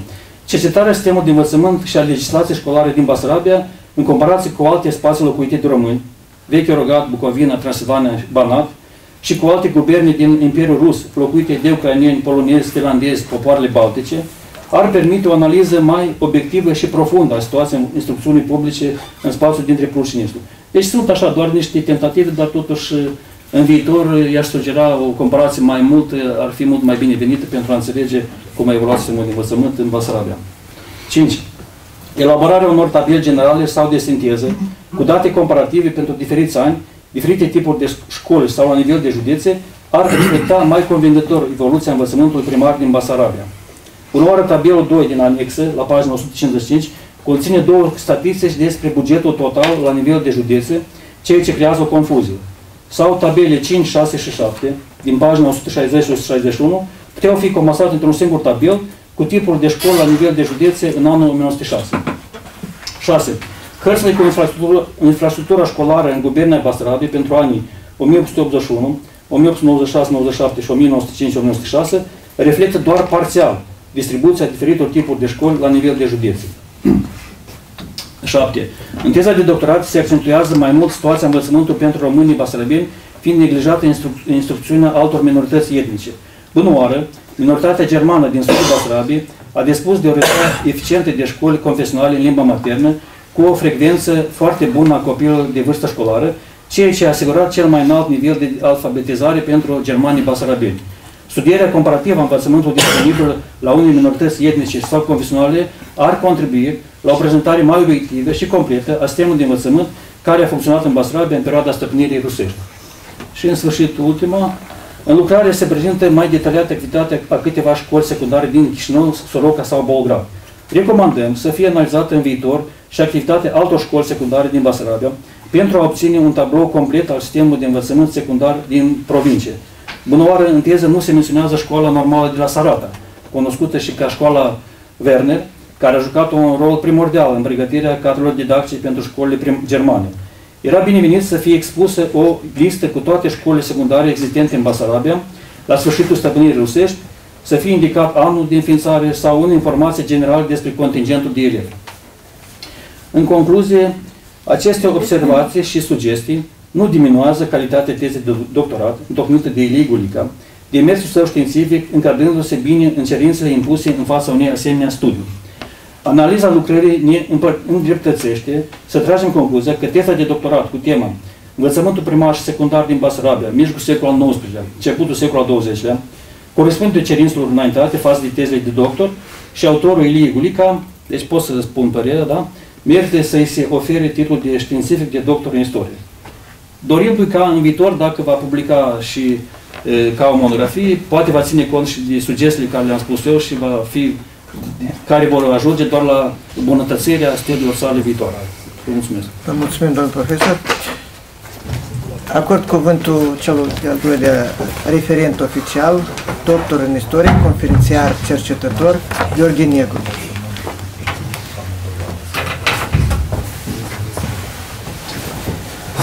Stimați colegi, onorată asistență, uh, sistemul de învățământ reprezintă o parte a structurii complexe a societății. Un subsistem care, după cum menționează sociologul american Talcott, Talcott Parsons, în lucrarea Structura acțiunilor sociale, joacă un rol important în procesul de dezvoltare și consolidare a întregului sistem social. Afirmația este valabilă, desigur, și pentru sistemele de învățământ din trecut și mai ales pentru cele din perioada modernă. Din această perspectivă, având în vedere legăturile și continuitățile dintre societățile moderne și contemporane, tema de cercetare a domnului Ilie Gulca, învățământul primar și secundar din Basarabia, mijlocul secolului al XIX-lea, începutul secolului al XX-lea, reprezintă nu numai un interes euristic, ci și unul aplicativ, care poate contribui atât la înțelegerea condițiilor care asigură păstrarea și recurența unor practici și mentalități învechite, reflexe și confuzii culturale și identitare, cât și la elaborarea unor abordări și propuneri pentru a le contracara sau corecta. Deși constituirea și evoluția sistemului de învățământ rusesc din Basarabia reprezintă o temă crucială, atât pentru înțelegerea evoluțiilor social-economice, culturale, identitare ale românilor basarabieni în epoca modernă, cât și a proceselor ulterioare, până în prezent nu a fost elaborată o lucrare specială în acest sens. Din acest punct de vedere, teza recenzată este una de pionerat pentru istoriografia românească, punând în circuitul științific un set important de documente de arhivă inedite, reflectând scopurile fondării instituțiilor de învățământ rusești în Basarabia, evoluția numerică a școlilor și elevilor din ciclu primar și secundar, proveniența resurselor financiare, conținutul, conținuturile programelor școlare și a metodelor de predare. De asemenea, analizează politice, politicile de rusificare, cauzele analfabetismului, efectele mișcării de deschidere a școlilor primare de la sfârșitul secolului al XIX. Toate aceste procese sunt examinate prin prisma legăturilor de cauzalitate dintre unirea principatelor române în anul 1859 și constituirea ulterioară a statului român modern, perceput drept un pericol de demnitare de la Sankt Petersburg, pe de o parte, și de năsprirea drastică a politicii de rusificare, pe de altă parte. Cu alte cuvinte, autorul tezei ia în considerare factorii interni și externi care au influențat politica școlară din Basarabia în perioada analizată. Scopul tezei, cercetarea evoluției instrucțiunii publice din Basarabia, deci în a doua jumătate a secolului XIX și începutul secolului XX, obiectivele formulate care pot fi sintetizate în intenția de a transforma școlile populare în instrument principal de asimilare lingvistică și de modelare a noilor elite basarabene, deci, aceste scopuri reies logic din analiza evenimentelor și dinamica proceselor istorici, istorice. Reflectă esența politicii naționale a Imperiului Rus, bazată pe centralizarea administrativ-teritorială și rusificarea național-culturală a popoarelor neruse. În mod similar, structura capitolelor și formularea problemelor relevă cronologic și diacronic atât contextul politic de la centru și periferie, interacțiunea dintre autoritățile politice centrale și conducerea școlară locală, cât și atitudinea populației locale în raport cu autoritățile școlare, care, după cum se sublinează în teză, au evoluat în mod diferit în timpul consolidării autocrației țariste la sfârșitul secolului XIX, în anii liberalizării vieții social-politice din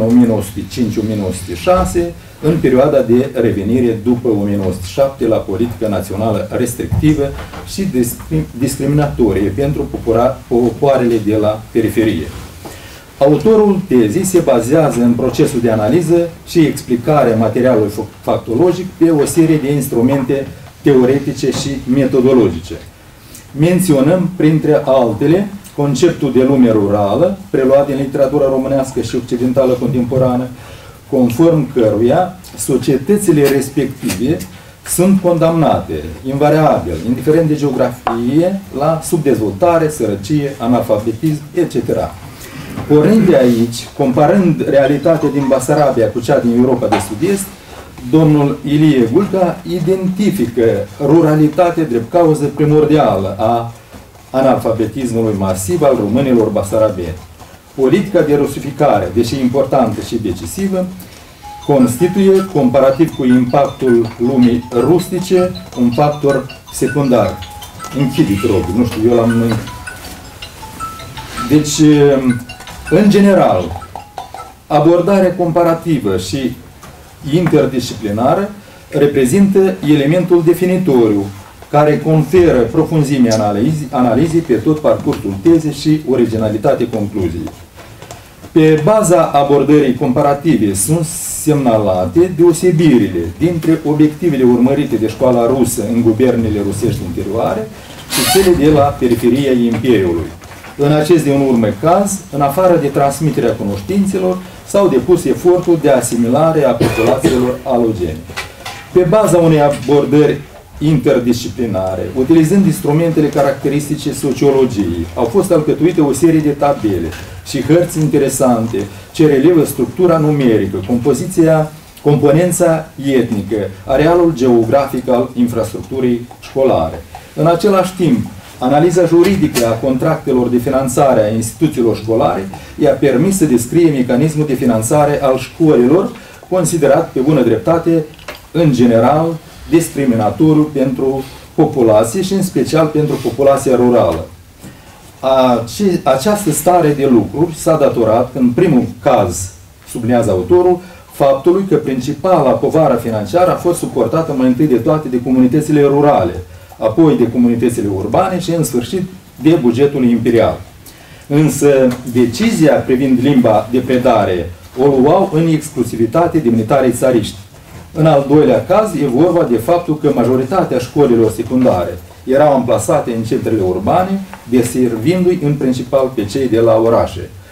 Structura tezei este logică, coerentă, respectând principiul tematic cronologic, analizând în capitolul introductiv politica școlară a Imperiului Rus, trecând apoi de la contextul imperial la specificul local, la aplicarea de la aplicarea cerințelor generale ale centrului în școlile primare și secundare din Basarabia, ă, deci specificând în acest caz legăturile cauză-efect din sistemul de învățământ basarabian. Astfel, reflectarea problemelor și evenimentelor sunt logice, firești, firești, pornesc de la simplu la compus și invers, de la general la particular.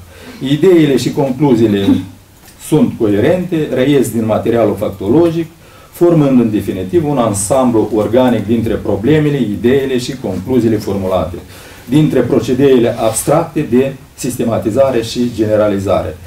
Stilul clar și formulările sobre denotă cunoașterea terminologiei caracteristice pentru domeniile științelor socio-umanistice, capacitatea de a generaliza și sintetiza, de a vedea legături și fapte care transcend banalul, platitudinea și sublinează esența unor regimuri și fenomene istorice. Teza se bazează pe un set important de documente primare de arhive, în mare parte inedite, dar și edite, pe o bogată literatură istorică și teoretică, pe o analiză nuanțată, ceea ce compară profunzimie narațiunii, originalitatea ideilor și concluziilor. Domnul Ilie Gulca suplinește unele goluri în istoriografie. Analize, în acest sens, deci analizează cadrul juridic de funcționare a infrastructurii școlare din Basarabia, elaborează o viziune de ansamblu referitoare la evoluția acestei infrastructuri, reconsideră abordările cu privire la metodele de predare și procedeile pedagogice utilizate în sistemul școlar primar și secundar din Basarabia. Cercetează cauzele analfabetismului masiv la etnicii români din Basarabia. Acest fenomen este clarificat prin referire și la alte grupuri etnice din Basarabia, precum și la populația statelor din sud-estul Europei în secolul al XIX-lea, semnalând lipsa unui studiu complex despre învățământul secundar din Basarabia și reflectând evoluția rețelei școlare respective. O serie de concluzii ale autorului sunt bazate pe o argumentare documentare solidă și analize consistente. Astfel se subliniază faptul că prezentarea comună în unele lucrări ale autorilor din perioada țaristă a malorușilor și vilcorușilor drept element etnic majoritar între prus și nistru, a căutat să justifice asimilarea lingvistică și etnică efectuată de autoritățile ruse în Basarabia.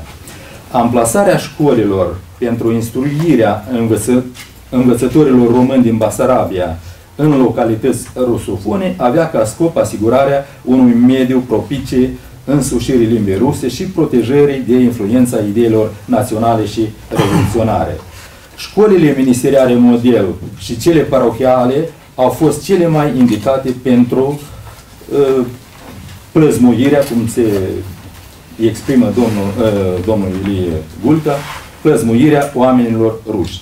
Deoarece în ele se studia mai profund gramatica și istoria poporului rus. Așadar, lucrarea de doctor în istoria domnului Ilie Bulca constituie o lucrare bine documentată și originală. conținutul tezei și publicațiile autorului corespund în întregime temei aprobate, iar autoreferatorul redă fidel ideile și concluziile tezei, respectă toate rigorile, rigorile stabilite pentru astfel de lucrări. În continuare, așa cum este regulamentul, mă voi referi la unele obiecții și sugestii. Autorul consideră că între 1864 și 1871 sursele nu consemnează o hotărâre tranșantă de interzicere a limbii române în școlile din Basarabia. Deci pagina 42. În realitate, în 1866, Consiliul de Stat al Imperiului Rus a adoptat hotărârea cu privire la suspendarea predării limbii moldovenești la gimnaziul din Chișinău, în pofida avizelor pozitive venite de la Direcția Școlilor din Basarabia, Circumscripții de Învățământ Odessa și Ministerul Instrucțiunii Publice, care propuneau continuarea predării limbii române la gimnaziu. Într-adevăr, în Basarabia, ca și în toate celelalte provincii naționale ale Imperiului Rus, nu a existat o hotărâre care să interzică predarea în limbă maternă simultan în toate tipurile de școli.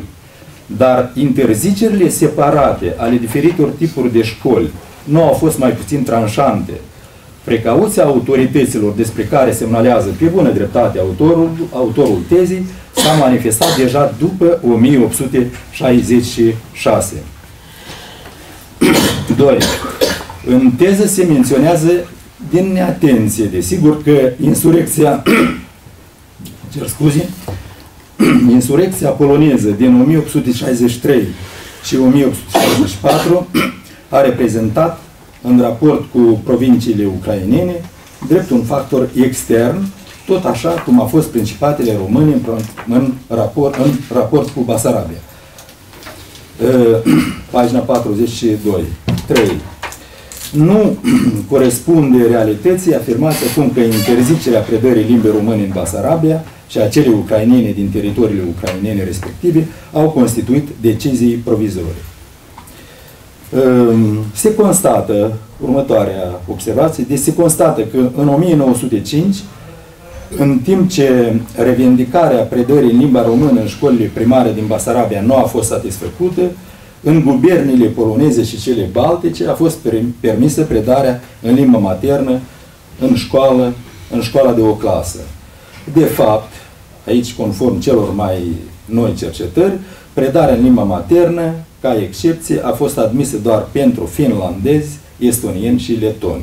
În Finlanda, pentru a evita pericolul declanșării răscoale armate într-o zonă apropiată de capitala Imperiului, iar în provinciile estoniene și letoniene pentru a evita crearea unei situații privilegiate școlii germane. În uh, fostul regat al Poloniei, în pofida unor promisiuni inițiale, s-a permis în octombrie 1905 predarea în limba poloneză și lituaniană doar în școlile private. 6. Uh, se remarcă, avându-se în vedere Bucovna ieromonahului Gurii Grosu, că au fost interzise manualele cu texte românești, pagina 58. Nu a fost vorba de interzicere, ci de faptul că abecedarul lui Gurii Grosul nu a fost acceptat drept manual oficial pentru școlile primare din Basarabia. Exact așa s-a întâmplat în prima jumătate a anilor 1860 și cu manualele lui Ioan Doncel. În baza prevederilor oficiale, orice lucrare neacceptată de cenzură dar publicată, era interzisă și distrusă, precum s-a întâmplat cu publicația Făclia Țării în 1912. În cazul cărților lui Ioan Doncev și Gurie Grosu, ele au trecut cenzura și puteau fi vândute și difuzate, dar nu aveau permisiunea de a fi folosite ca manuale școlare. Se, următoarea șaptea se concluzionează că autoritățile ruse au făcut investiții considerabile în infrastructura școlară din Basarabia, pagina 142. În fapt, investițiile de la bugetul de stat au fost mult mai mici în raport cu cele efectuate de comunitățile sătești, fapt subliniat de autorul tezii. Ministrul Instrucțiunii informa la sfârșitul secolului XIX că pentru școlile din Basarabia erau alocate de la visterie de stat a Imperiului Rus 45.000 de ruble, 400, 45, cer scuze, 385 de mii, 384 de ruble. Iar comunitățile sătești din Basarabia contribuiau cu 215.587 ruble. Prin urmare, indiferent de sumele alocate de guvern, criteriul principal în aprecierea efortului depus de statul rus pentru instruirea supușilor săi, îl constituie numărul de elevi școlarizați în raport cu cei neșcolarizați. Ori aceștia din urmă reprezentau majoritatea populației sătești de la începutul secolului 20. În final, îndemnul meu pentru autor este să continui cercetările și reflexiile asupra temei de cercetare, să extindă limitele cronologice, analiza bazei teoretice, a cadrului comparativ pentru o mai bună cunoaștere și înțelegere a istoriei românilor basarabeni într-o perioadă atât de importantă, dar insuficient cercetată. Obiecțiile și precizările formulate mai sus nu diminuează, desigur, valoarea tezii de doctor și de doctor în istorie a domnului Ilie Gulca. Analiza bazei documentare și conținutul lucrării justifică pe deplin concluzia că teza învățământul primar și secundar din Basarabia, mijlocul secolului al XIX, începutul secolului al XX-lea, întrunește toate condițiile necesare pentru astfel de lucrări, iar domnul Ilie Gulca merită, să, merită cer scuze, să-i se acorde titlul științific de doctor în istorie. Vă mulțumim, domnul profesor Negru. Acum invităm pe domnul Gulcă să-și expună asupra recomandărilor, obiecțiilor care au fost expuse de către referenți oficiali.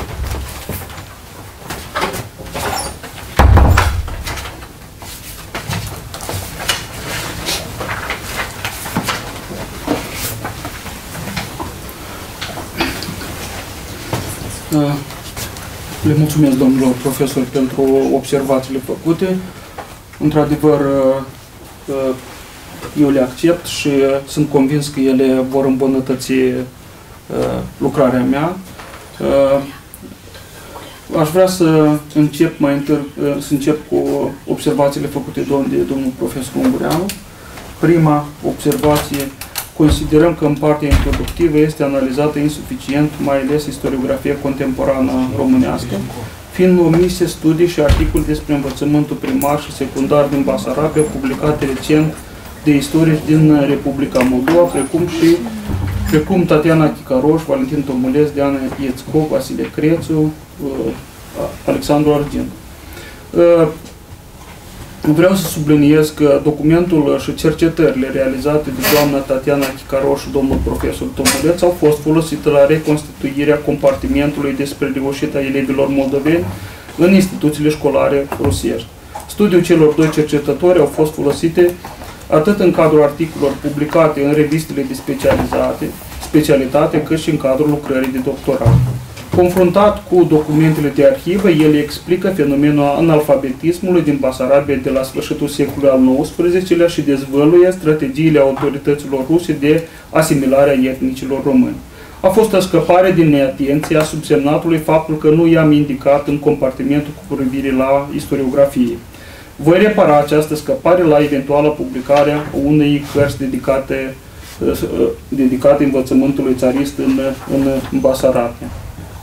Ă, cercetările doamnei Iețco vizează cu precădere învățământul teologic de specialitate, în timp ce subiectul nostru de cercetare a urmărit în principal școlile aflate sub controlul Direcției Școlilor Populare și respectiv al Ministerului Instrucțiunii Publice.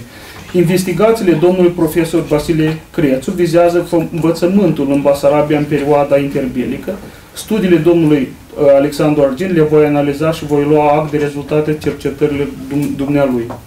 Pentru a doua observație, pentru a înțelege mai bine evoluția sistemului de învățământ din Basarabia în a doua jumătate a secolului al XIX-lea, era binevenit să fie prezentat măcar foarte succint câteva pagini din situația învățământului din acest spațiu în primele decenii de stăpânire rusească. Am cercetat sistemul de învățământ din prima jumătate a secolului al XIX-lea, în special deschiderea și evoluția școlilor lancasteriene, școlile județene și a gimnaziului regional din Chișinău. În cadrul paragrafelor, am, când am considerat necesar, am coborât cadrul cronologic pentru a explica organizarea și evoluția instituțiilor de învățământ primar și secundar. În varianta inițială chiar a existat un compartiment dedicat literaturii didactice și instituțiilor de învățământ din prima jumătate a secolului al XIX-lea, dar am fost obligat să îl elimin pentru a mă conforma prevederilor ghidului de redactare a lucrării.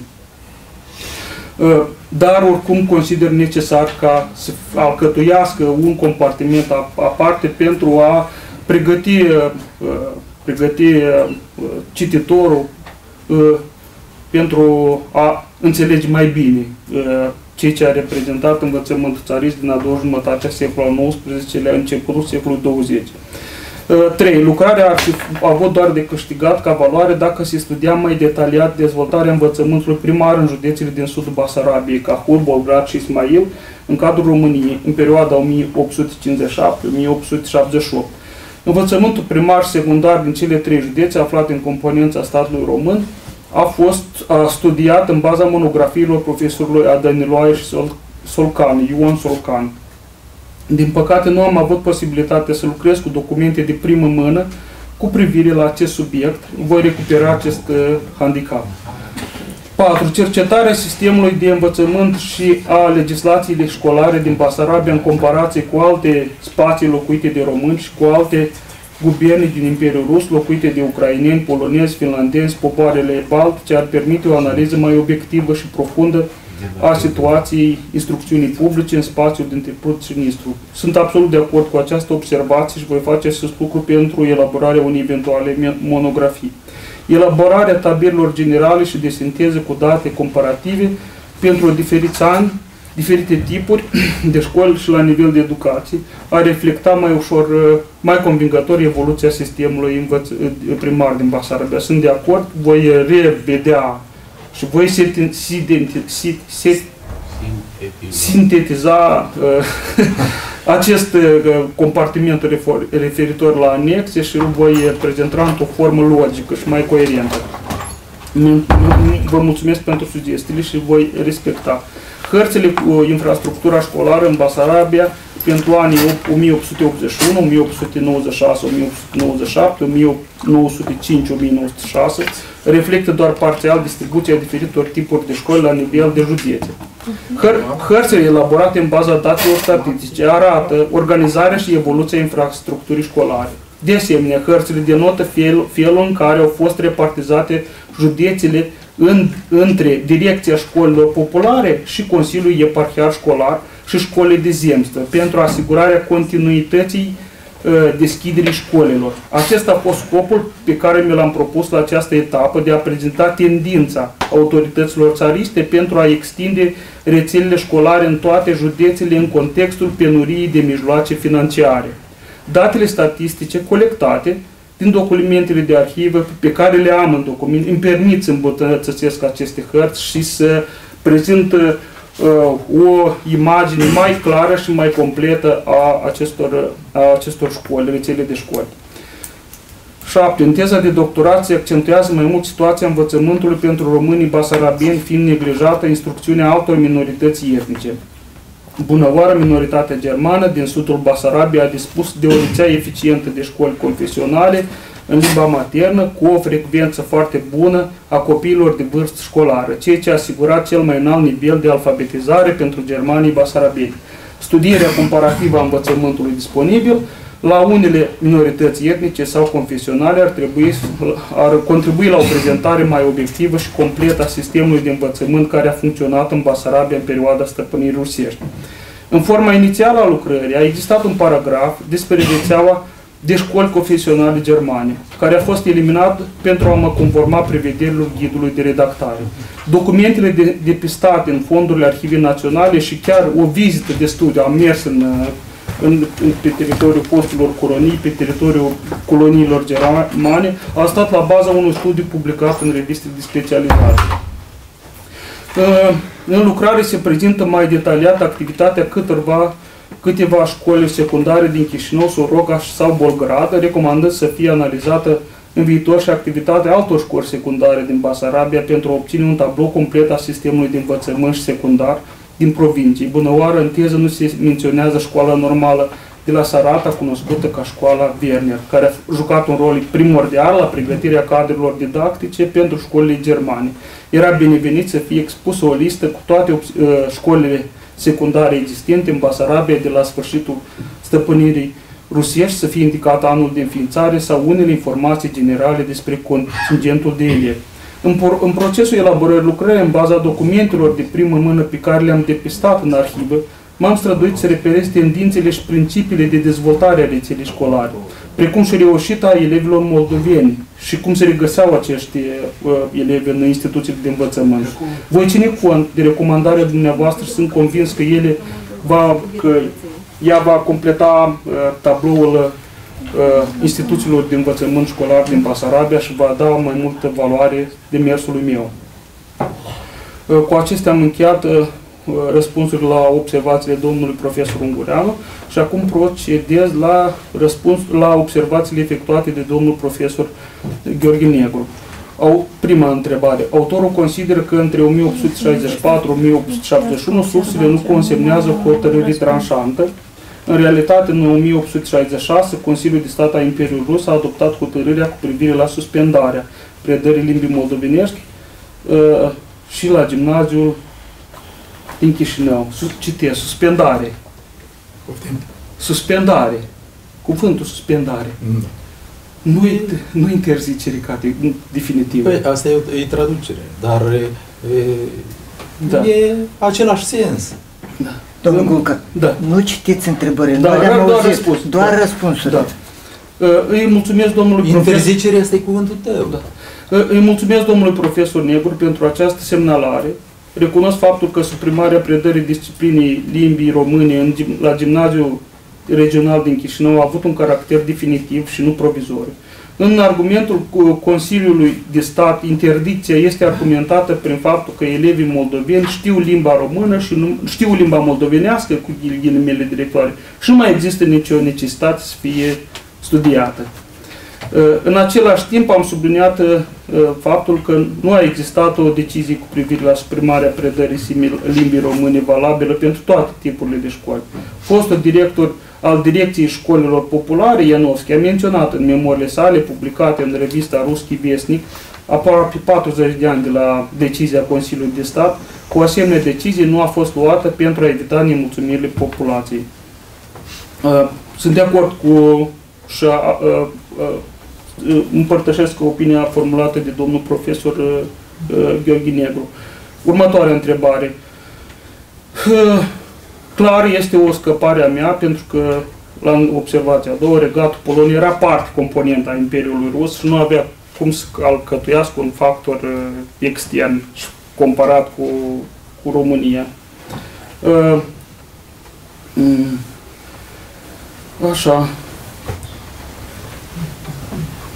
Da, și aici trebuie să recunosc că altfel mi-ați semnalat, este vorba de instaurarea regimului autocrat dumneavoastră și eu recunosc că este o scăpare pentru că regimul autocrat a fost instituit încă din secolul XV și de fapt am avut în vedere că în 1881, după asasinarea s-a consolidat. consolidat și s-a năsprit regimul autocrat. Este o, o scăpare a mea.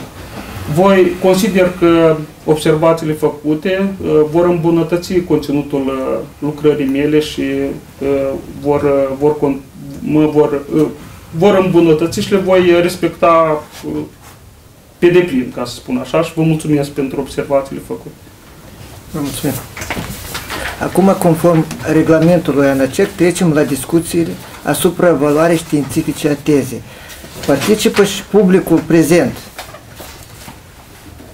cei din publicul prezent care știe, care a citit, a fost uh, uh, aceste teză de doctor și autoreferate, a fost publicate online. Cineva, dacă vreți, să se expună din publicul prezent. Poate știe pe domnul pretendent să se expună asupra lui. Colegii lui care sunt aici prezenți. Nu sunt. Protocolul cere? Da, conform regulamentului. Dacă dorește Dacă cineva. dorește cineva, dar nu dorește. poate, dacă nu dorește, trecem la alt uh, capitol referitor la uh, expunerea membrilor Consiliului Științific Specializat, fiecare aparte se expune asupra valoare științifice a tezei de doctor. Putem să începem conform listei care e aprobată de ANACEC. Uh, ofer cuvântul domnului dr. Habilitat Cerinteu Igor. Faceți colaborez la treilea. Apoi noi, cei care la conducere o leacă mai la sfârșit. Domnule președinte, stimați membri ai Consiliului Onorat Asistență, domnule pretendent, eu am ascultat uh, cu interes uh, expunerea dumneavoastră și uh,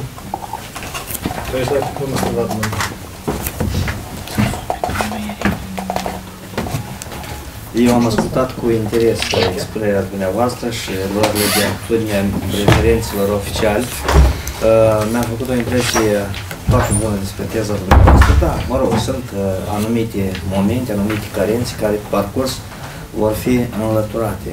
Uh, Teza de doctor pe care ați uh, elaborat-o dumneavoastră se înscrie în rândul celor ce prezintă interes științific atât pentru uh, comunitatea istoricilor cât și cel al pedagogilor, pedagogilor celor care se uh, ocupă în cercetările lor de știința, de cercetarea științei pedagogice. Deși s-a scris, uh, s-a scris câte ceva la acest subiect și unii colegi au menționat lucrul ăsta, eu uh, apreciez uh, intenția dumneavoastră de a vă referi anume la acest cadru cronologic, adică a două jumătate a secolului al 19 și început secolul al 20-lea.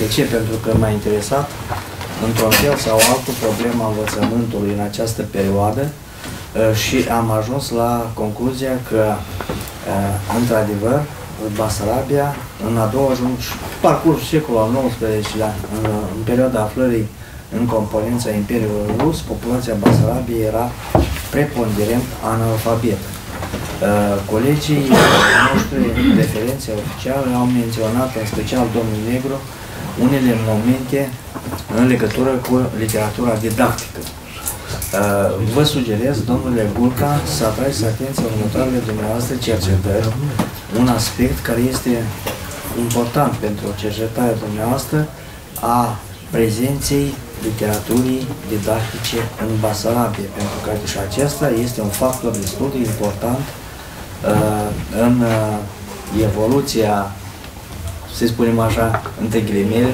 a analfabetismului în Basarabia în această perioadă. Credeți-mă pe cuvânt că uh, cercetând acest aspect al problemei a literaturii didactice în Basarabia și până la această perioadă, adică până la jumătatea secolului al XIX-lea și începutul secolului al XX-lea, nu prea întâlnim manuale, adică au fost editate ca câteva ediții manuale, bucoarne, bucoarne, cum, cum erau numite ele, însă acestea nu au fost suficiente. Există bucoarne la 1815, unde spun că au fost editate și una la 1814, ambele ca și cum ar fi câte 1200 de exemplare, ceea ce nu accept. Deci este vorba de bucoane de la 1815 și au existat niște bucoane pe la 1820-22, Margela scrie de la Sankt Petersburg la 1826 trimite o 26-27 se trimite o bucoavă tipărită la Sibiu pentru ca să editeze manuale pentru basarabieni. Iată, aceste exemplare de, de bucoavă au contribuit într-o oarecare măsură, dar uh, cred că este vorba de elite. Acestea nu au ajuns pe mâinile oamenilor sau în școlile primare, secundare, cum vă numiți dumneavoastră. Uh, în perioada în care dumneavoastră abordați problema, nu au fost părite manuale decât pe la 1863 există un manual și atât. Abia, iată, domnul Negru a vorbit despre manualele de la începutul secolului al 20-lea, al lui Grosu, uh, Azbucoarna lui uh, Guri Grosu și mai este carte de citire tot Guri Grosu. În rest, noi nu, nu prea avem manuale pentru basarabini uh, și chiar literatură didactică. De asemenea, în cercetările mele eu am încercat să identific aceste cărți. nu sunt. Există câteva, la, la câteva mănăstiri, la două mănăstiri am întâlnit ceva literatură didactică, dar mai târziu. Este vorba de mănăstirea Nou Neamț, unde este o bibliotecă extraordinar de mare, și există la Mănăstirea Răciula niște manuale de limba rusă care sunt spre sfârșit, uh, ca, ca și datare sunt la uh, sfârșitul secolului al XIX-lea. De ce, ca să nu vă rețin prea mult atenția, eu uh, vă sugerez ca în viitor să dați atenție și la acest aspect. Este destul de interesant pentru cercetările dumneavoastră. Ați folosit uh, izvoare inedite, destul de multe izvoare inedite, care au conferit un grad avansat de obiectivitate, uh, reieșind din cele spuse, mă pronunț pentru acordarea titlului doctor în istoria domnului Gulcă și menționez de asemenea că autoreferatul tezei de doctorat pe care ați prezentat dumneavoastră corespunde conținutului tezei de doctor. Vă mulțumesc frumos! Vă mulțumim, domnul uh, Cericheu. Ofer cuvântul uh, doctorul habilitat în istorie, profesor universitar, Ion Ieremia. Poate zice să vorbesc, stau acolo, și camera. Uh, tema pe care a abordat-o domnul Ilie Gulca este o temă foarte interesantă și foarte actuală. Problema cu care noi ne ciocnim nu de azi, de ieri, dar deja din anul 1812, fiindcă chiar de atunci, poate nu chiar din 12, dar în gând a fost, dar din 13 noi avem pusă problema despre crearea, cum a, a spus aspirantul la titlul științific de doctor, crearea omului rus din locuitorii Basarabiei, în primul rând prin învățământ. Începând cu învățământul primar și secundar, școlile agricole care au fost deschise mai târziu, totul, totul, deci s-a făcut în limba rusă. Deja prin, în, eu am găsit formula respectivă la 1870, când apare noțiunea ruski mir. A ceea ce noi vedem astăzi se propagă cu uh, insistență de către Moscova. Toate încercările însă de a face din uh, copiii românilor moldoveni oameni ruși, până la urmă au uh, ieșuat. Au fost încercări destul de drastice. Uh, pentru unele tipuri de școli s-a introdus ca cerință de a fi admiși în clasa 1 că ei trebuie să cunoască limba rusă și să aibă elemente, uh, noțiuni, cunoștințe elementare despre limba slavonă. Fără aceasta, deci nu erau admiși în clasa 1.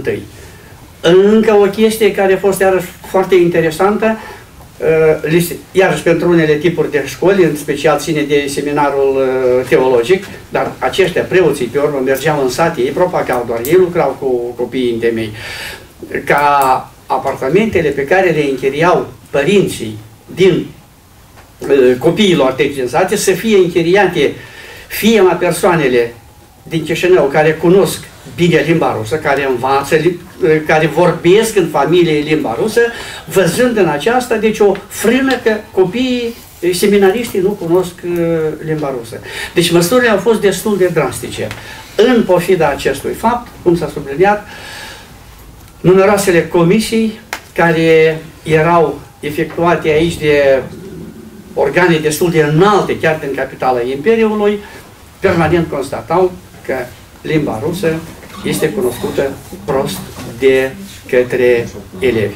Probabil conservatorismul, dar chiar și Imperiul Rus uh, nu avea el capacitățile mm, necesare pentru dezvoltarea unui învățământ uh, care să asigure într-adevăr învățarea limbii ruse. Șerbia până la 1861 și chiar a doua zi după lichidarea Șerbiei nu s-a îmbunătățit procesul de învățământ. Domnul Gulca a adus, cred că destule materiale, surse edite, dar mai ales inedite, și după mine a abordat destul de reușit uh, tema respectivă. Concluziile sunt argumentate, cu excepția, cum am spus, uh, recomandărilor la care trebuie să reveniți numai decât, fiindcă aceste recomandări, în primul rând, ele sunt uh, valabile 100% pentru dumneavoastră, că dacă nu le-ați făcut, atunci lucrarea practic... Uh, așa că sunt sigur că ați făcut lucrurile acestea. Am știut lucrarea atunci când am uh, discutat-o la seminar, deci reveniți asupra recomandărilor și desigur mă pronunț în favoarea ideii care a fost enunțată aici, domnului Gulca, să-i se acorde titlul de doctor în istorie. Vă mulțumim, domnul profesor. Acord cuvântul doamnei doctor în istorie, conferențiar universitar, Liliana Rotaru.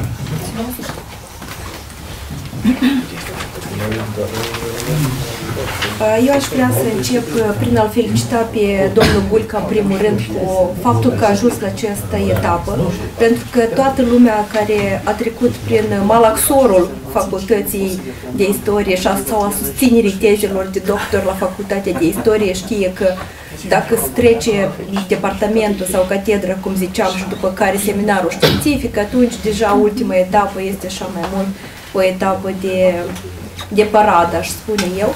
Și în al doilea rând să-l felicit și pe conducătorul științific, domnul Gumenei, pentru că aveți în față un doctorant care susține și altul care este președintele Consiliului Științific de Susținere. Deci, domnul profesor, puteți să vă mândriți, fapt pentru care noi vă felicităm.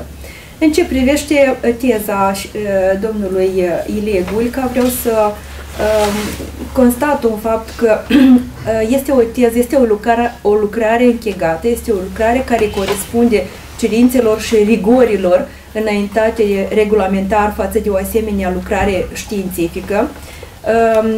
Conține toate compartimentele necesare, nu am să mă opresc pentru că stimații referenți științifici au vorbit aici. Am să mă opresc doar acolo unde consider că aș putea să fac niște recomandări care ar putea contribui la îmbunătățirea viitoarei monografii. Uh, cred că nici nu se pune întrebarea dacă să se publice această lucrare sau nu. Uh, cred că lucrarea asta trebuie să devină o, nu știu cum să zic lucrările astea, carte de buzunar da? Știți pentru cine? Nu pentru oamenii de știință, pentru că istoricii și oamenii de știință vor studia și vor cerceta această lucrare și o vor citi și așa. Chestia, lucrarea asta trebuie să devină o carte de buzunar pentru toți cei care participă la elaborarea politicilor educaționale în statul ăsta care se mai numește Republica Moldova.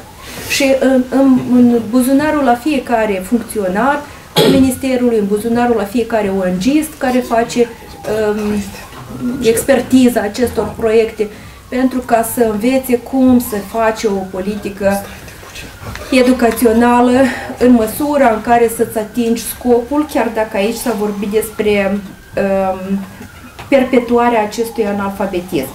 Acum despre analfabetism, zicea domnul profesor Negru că um, limba română a fost scoasă din educație cu motivația că uh, românii și așa știu limba moldovenească și nu mai au nevoie să studieze această da. uh, limbă ca și disciplină școlară în școlile de diferit nivel. Uh, domn profesor, am impresia că eu știu care studiez partea uh, secolului 20, am impresia că basarabenii, românii basarabeni au învățat lecția foarte bine, deși noi zicem că istoria ne învață că nimic nu, nu ne învață.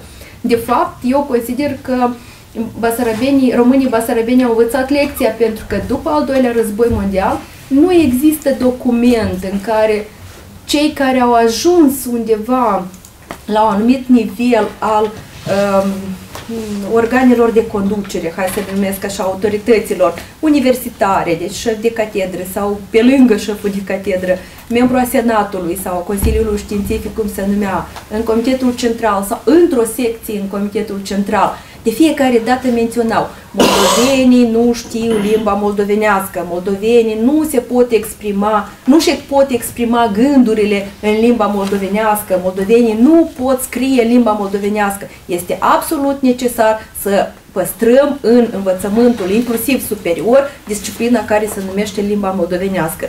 Deci au fost o, o, un, un pas înapoi, zic eu, un, un pas înapoi, nu, nu un pas înapoi, o convenție da, a românilor din Basarabia ca printr-o cedare mică, deci spunându-i aceste limbi, limba moldovenească, așa cum își dorea regimul, să păstreze totuși limba română în, în spațiul dintre uh, Prut și Nistru. Uh, direct la în, în pâine, cum se zice, uh, dacă abordez punctual și fără să, fi, să am vreun sistem. Importanța temei studiate. Am impresia că domnul Gulica a fost foarte modest atunci când a descris importanța temei despre care vorbește, pentru că s-a oprit doar la partea importanța ei științific, teoretico-științifică, dar nu a trecut-o în planul practic despre care v-am vorbit ulterior. Teza asta poate să stea la baza politicilor educaționale în statul nostru. Ea poate să iasă din cadrul îngust al cercetărilor științifice și al intereselor pur teoretice.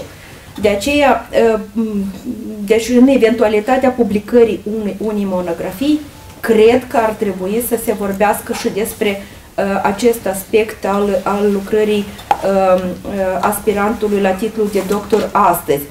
Despre istoriografia am mai vorbit, nu mai revin, așa am un șir de aprecieri, pentru că în, în multe cazuri să știți că tezele, ipotezele pe care le-a enunțat domnul Bulică în teză, le-a demonstrat cu argumente convingătoare, aducând, aducând un șir de fapte, un șir de evenimente, un șir de Um, nu știu, de, de argumente. De exemplu, a demontat declarațiile unor funcționari ruși, precum că elita basarabeană, cea cu aspirații naționale, um, numită Moldo moldovanofil, nu reprezintă un pericol la adresa integrității teritoriale a Imperiului. Și domnul Gulică arată cu argumente că, de fapt, toate acțiunile imper uh, imperiale care au urmat după unirea Principatelor Române nu au fost decât uh, Uh, să arate această frică a autorităților față de uh, posibilitatea apariției aici a unui focar de românism și de promovare a ideii um, reunirii Basarabiei cu, cu, uh, cu România și altele asupra cărora nu am să insist. Um, dar ne permitem să facem câteva recomandări autorului care sunt așa subțirele, mărunțele, nu afectează concluzia pe care am să o fac. Uh, s-a mai vorbit despre termeni. Am citit teza ieri și am văzut că domnul aspirant folosește termeni uh, pentru a desemna, diferiți termeni, scuzați, pentru a desemna același fenomen, același eveniment um, uh, și totodată diferite forme de a prezenta numele anumitor persoane. Și am să vin cu un exemplu. Într-un caz, guvernatorul Basarabiei este E.E. Gangart, în altele Epitro, uh, epitropul circumscripției de învățământ Odessa, Adam Antonovici Arțimovici. Deci, de, uh, um, eu vă înțeleg frica dumneavoastră de uh, satrapii care vin cu ideea asta discriminării, nediscriminării, dar în limba română și în știința română nu se folosesc patronimicile.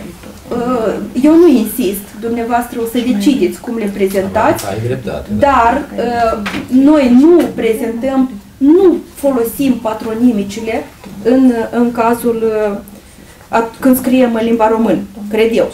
Tot în acest context nu ne este clară redacția numelui lui Timofei Antipovici Crăciun. Deci el scris cu capa, că el este original român, originar sau original de aici, originar român, etnic român, hai să zicem, da?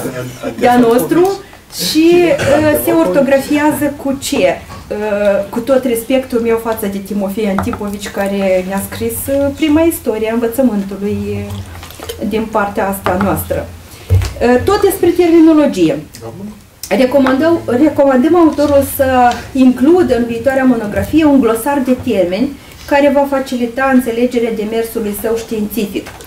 Noi înțelegem că autorul fiind în temă, așa iau între ghilimele expresia sintagma fiind în temă, crede că toată lumea înțelege despre ce vorbește, folosește termenii uh, care sunt sinonimi, odată unul și altă dată altă dată, dar acest lucru pentru un uh, neofit în ale cercetării uh, complică uh, uh, lectura și înțelegerea. Poate lectura nu, dar înțelegerea textului, pentru că de fiecare dată trebuie să se întoarcă undeva la un dicționar a domnului profesor Tomuleț sau la alt dicționar ca să înțeleagă despre ce este vorba. Deci credem că un uh, glosar de termeni ar fi uh, binevenit și ar, fi, ar ajuta cititorul să surmonteze uh, textul tezei și apoi a monografiei care va fi publicată. Tot cu termenele, am eu ce am cu termenele, domnul, domnul Gulica folosește sintagmele într-un anumit context, și acum să fie clar despre ce vorbesc, județele de sud ale Basarabiei și județele de nord ale Basarabiei. Nu este clar, pentru că în altă parte avem județele de centru și nord a Basarabiei. Eu înțeleg despre ce vorbiți, dar atunci când folosiți în comparația asta județele de sud și știm despre cele trei județe și vor folosiți județele de nord, după părerea mea, eu am înțeles vorbiți despre Basarabia rusească despre cealaltă parte a Basarabiei, ori faceți o notă în subsolul paginii să explicați lucrurile astea, ori, ori uh, explicați în, în, în text uh, în ce sens se utilizează uh, sintagma uh, județele din nordul Basarabiei. O altă sintagmă pe care, uh, care mi-a trezit dubii a fost cea cultivarea sentimentului patriotic. De multe ori folosiți că scopul și misiunea școlii a fost cultivarea sentimentului patriotic. Care patriotism, față de care patrie noi uh, au educat dragostea elevilor școala rusească. Care Lipsește cuvântul rusesc și gata. Da, trebuie de concretizat pentru că uh, intrăm într-o... Așa. Seminarul de învățători din Bayram Cea Bayramcea a fost redenumită în anul 1856 în Nicolaevca, Novorosia și dumneavoastră folosiți în partea terminală a tezei Nicolaevca, Novorosia, fără a menționa că asta este aceeași Bayramcea. Cred că iarăși trebuie o notă la uh, subsolul paginii în care, la 73 de exemplu, în care mi-am scris pagina, în care să scrieți acest lucru sau să uniformizați termenul și să folosiți Nicolaevca, Novorosia. Așa. Da, aveți câteva gânduri pe care nu le-ați terminat. Unul dintre ele este la pagina 74-75, o propoziție neterminată. Am încercat de câteva ori să intuiesc ce ați avut în vedere și nu am, nu am găsit. O altă recomandare ar fi să evite aprecierile categorice. Discutam mai, de, mai sus cu domnul profesor Uh, Gomen și domn profesor zice, păi, da, păi să trag de la primul conducător științific, că știm că regretatul Gheorghe Palade era așa o persoană uh, destul de categorică și probabil că domnul Ilie uh, Gulica i-a preluat din uh, ideile și uh, expresiile uh, regretatului Gheorghe Palade.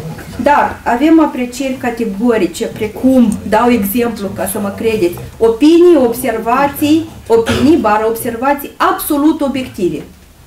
Narațiunea abundă în erori și inexactități despre evenimentele de la sfârșitul tratata. Vorbește despre Lașcov. Lașcov. Uh, dar în text nu se demonstrează aceste inexactități. Deci uh, autorul se rezumă doar la aprecieri sau altă apreciere, împăratul Alexandru al II-lea a dispus fără să aibă habar de politica de rusificare a Imperiului și altele. Deci sunt expresii care nu vin din, din arsenalul celor științifice și ar trebui de redus din această ardoare categorică și de uh, abordat așa un, uh, un stil științific mai temperamentat. Da, am înțeles, domnul Duminică, imediat. Credem că trebuie de consolidat argumentele prezenței la capitolul istoriografie autorilor Nikita Daniloae, Ion Solcan și Bogdan Murgescu. Cunoscându-le lucrările, intuim care a fost intenția și opțiunea autorului de a le pune în acest text, dar nu găsim argumentul prezenței lor la capitolul istoriografie. Cel puțin eu nu l-am găsit, tot așa ca și în cazul lucrării care a fost semnalată, semnată cu numele Inu Rodeț.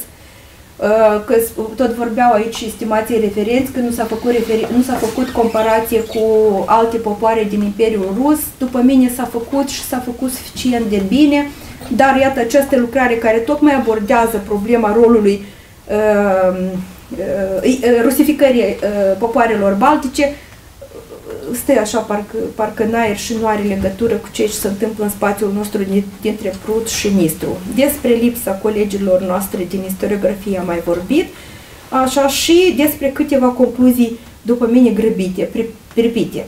Citesc una dintre însele. Comparând numel, numărul copiilor de vârstă școlară din 1881 și din 1910, constatăm o creștere aproape dublă, creștere dat, care s-a datorat îngrijirii medicale.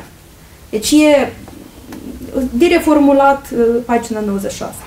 Și altă concluzie care uh, nici textul lucrării dumneavoastră nu m-a convins și nici răspunsul pe care l-am stat astăzi, totuși revin la cauza uh, pe care o enumerați ca favorizată în alfabetismul românilor basarabeni, atitudine refractară față de școala rusească.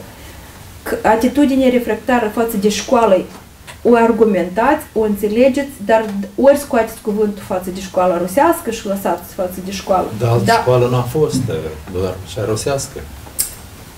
Da, dar când ziceți, domn profesor, rusească, după mine trebuie să aibă caracter antirusesc, antinațion, anti... cum? Păi cu atât mai mult dacă n-a fost alta. Școală. Ă, asta sunt recomandările mele, nu ă, competitorul nu este obligat să țină cont de sunt doar cei ce am observat. Deci, ca să închei, recomandările noastre nu diminuează câtuși de puțin importanța demersului științific al domnului Ion Gulică. Studiul este unul științific, original, bine documentat, fundamentat, ă, cu documente care cu mici îmbunătățiri poate să ajungă după publicare o lucrare bună, o monografie bună. Și în acest context, cred că lucrarea corespunde cerințelor înaintate față de tezele de doctor, așa, iar autorul ei, Ilie Gulică, merită să îi se confere titlul științific de doctor în istorie la specialitatea solicitată. Vă mulțumim, doamnă Nătan. Ofer cuvântul domnul doctor în istorie, Teodor Candu. Onorată asistență, dragi colegi, stimate domnule candidat.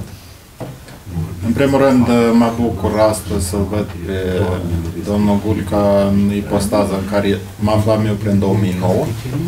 Emoțiile, bineînțeles, fiecare dintre noi ne încarcă în evenimente și trebuie să ținem cont de lucrul ăsta, dar și de partea cealaltă ce ține de niște obiceiuri pe care nescrise le avem noi istoricii la susținerea DES. În primul rând vreau să-l felicit pe domnul Gulca pentru realizarea unei lucrări interesante, complexe și necesare.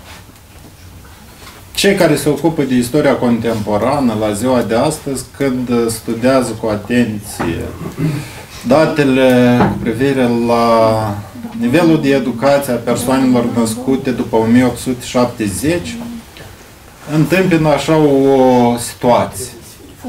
Persoana are nivelul de studii este o persoană cu o singură clasă și cu două clase. Marea majoritate a celor care fac interpretarea acestei expresii dintre contemporanii, doamnă Rotaru, au în gândul lor, băietul a învățat un an de zile la școală și e gata să o cărturade, o primit carte și a înțeles tot ce se întâmplă în învățământ. Marea majoritate. Eu nu am spus doamna Rotar. Ai spus doamna Rotar? Nu, că doamna Rotar așa înțelege. Dar în linii mari este o problemă de interpretare a anumitor fenomene care țin de învățământ și școală. Domnul Ilie Golca nu a soluționat și nu a tranșat toate problemele învățământului uh, primar, secundar din perioada țaristă. Domnul profesor uh, Constantin Ungureanu v-a dictat o serie de teme care pot servi teze de licență, teze de master, teze pentru doctorat, care merită și necesită a fi investigate. Important statul să plătească. Dacă să vă asculte pe dumneavoastră, doamna Rotaru, să transforme respectiva teză în carte de buzunar, avem șansa să rămânem fără buget și așa auster pe care îl avem. Din cauza aceasta trebuie să fim foarte atenți la asemenea recomandări, mai ales când se înregistrează. Să fim puțin mai critici. Cu siguranță o să ajung la cei de la Capul ANACEC și tăiat. uh, în linii mari, lucrarea pe care o avem astăzi în atenție ține de un subiect important, necesar, care merita să fie studiat de mult timp. Bineînțeles că sunt supărat și eu, doamna Rotaru, că domnul Ilie Gulcă nu mă băga și pe mine în pomelnicul ăla cu istoriografia. Dar sunt unele lucrări care, într-o teză de doctorat, merită a fi trecute și sunt unele lucrări care pot chiar fi ignorate sau nu, a, să nu atragem atenția. Dacă atrageam atenția prea mult, domnul Gulca nu avea să aibă șansa să ne prezinte lucrarea și avea să depășească limitele impuse de regulament în privința unei teze de doctorat. Dacă noi, istorici, am fi avut posibilitatea să ne expunem toate gândurile care ne vin în cap sau ne le oferă sursele istoriografice și izvoarele istorice, cu siguranță volumul unei lucrări de genul ăsta trebuia să fie de câteva sute sau chiar până la o mie de pagini. În condițiile date, multe dintre cele, acele probleme pe care domnul Gulca a reușit să le trateze, parțial au fost soluționate. Multe dintre probleme urmează a fi tratate și interpretate și analizate, uneori chiar în mod critic de fiecare dintre noi. Eu cu domnul Gulca am uh, avut nu odată discuții contradictorii pe anumite subiecte. Mă bucur că Cazul am schimbat puțin traiectoria unor viziuni de la un uh, naționalism militant la căutarea obiectivității în tratarea unor probleme și fenomene. Revin încă o dată la acea întrebare care am acordat-o domnului Gul, ca referitor la eșecul politicii educaționale a Imperiului Rus în perioada țaristă, în vederea rusificării populației eh, din Basarabia și succesele sistemului educațional sovietic în procesul de rusificare, o temă foarte contradictorie și foarte necesar de a fi înțeleasă. Și Un eșec, Lans- par, un eșec parțial a fost în perioada țaristă, nu un total. e un eșec total, domnul Negru, dați fi sincer, Dar nobilimea care Dar cine ocupă mișcarea națională, domnul profesor? seminariști, absolvenții seminarului ideologic. Nobilii, În, uh, ca să închei ideea mea, da, da. În primul rând, învățământul uh, primar impus de Imperiul Rus prin uh, educație obligatorie la nivel primar în limba rusă a reprezentat eșec politicii imperiale în sensul respectiv. Pe când în perioada sovietică, prin utilizarea limbii naționale, fie și cu glotonimul moldovenească, Uniunea Sovietică a creat la o primă etapă o clasă, a alfabetizat la un anumit nivel populație și ulterior s-a trecut la alt aspect. Bun. În primul rând, recomand sau îl felicit pe domnul Gorca, deja partea următoare ne vom exprima în... Mulțumesc pentru atenție. Vă mulțumim. Ofer cuvântul doamnei doctor în istorie, Cristina Gherescu. Da, stimate domnule președinte, stimați membri, stimate domnul Ili, Ili Gurca, eu vă felicit, eu am să fiu foarte scurtă motivele mele. În primul rând vin cu recomandarea spre acordarea titlului de doctor și care ar fi argumentele. Este o teză interesantă care abordează o problemă importantă pentru istoriografia românească, pentru că cu toții conștientizăm că importanța sau uh, înțelegerea, studierea problemei în domeniul educației, în domeniul învățământului sau nivelul de educație a unui popor este sau se manifestă sau are o influență directă asupra tot ceea ce se întâmplă în viața politică, socială, economică și respectiv culturală și evoluția acestea. Respectiv, lucrarea dumneavoastră este din acest considerent una importantă. La fel, în um, abordarea pro problemei date dumneavoastră ați utilizat documente inedite de arhivă, pe lângă analiza documentelor publicate și a istoriografiei, ceea ce din nou dă un plus valoare lucrării dumneavoastră și din acest considerent revin la ideea mea că recomand lucrarea. Succes! Vă mulțumim și așa cum cere regulamentul și se expună și președintele, eu să spun următoare. Că dacă analizăm istoriografia la problema abordată, noi să vedem că una din ultimele teze susținute aici, la Universitatea de Stat din Moldova, a fost în 2010 despre evoluție învățământului secund, primar și secundar în Basarabia, dar în perioada interbelică. 2020, domnul 2020, da, ce scuze. Este domnul Crețu. Este da, este domnul Crețu, da, tocmai am vrut să menționez uh, despre aceea, de, uh, că domnul Crețu a susținut această teză. Deja acest fapt vorbește despre importanța tezei de doctor uh, domnului Gulcă, pentru că ea abordează problema a învățământului primar și secundar în perioada țaristă. Tot așa trebuie să menționez că uh, teza de doctor, domnul Gulcă, abundă în materiale de arhivă. Și eu nu odată, și domnul Candu l-a văzut, și eu l-am văzut la Arhiva Națională a Republicii Moldova, cum e, altfel se numește, unde uh, omul a lucrat. Greșelile referitor cu terminologie, eu știu că, și cum a abordat și doamna uh, doctor Liliana Rotaru, țin minte chiar și pe mine mă întreba uh, pretendentul cum să fie tradus uh, termen din rusă în română. Uh, de aceea, mm, atunci când noi vorbim despre materiale de arhivă, eu sunt de acord cu colegii care au uh, abordat problema din punct de vedere că nu este, este scăparea nu se vorbește în detaliu despre anii importanți despre istoria Basarabiei de Sud. 1856-1878 când uh, o parte a Basarabiei de Sud a fost în, în componență Principatelor Unite uh, uh, Moldovești și țării românești. Și aici aș fi fost de ajutor, taman și cum se vorbi deja, materialele și arhivele domnului Ar Alexandru Argint, care a studiat materialele din arhivele din România. Chiar și eu am studiat tot uh, la material, din București și am abordat acest, această problemă în teza mea de doctor, susținută uh, și publicată în 2021. Uh,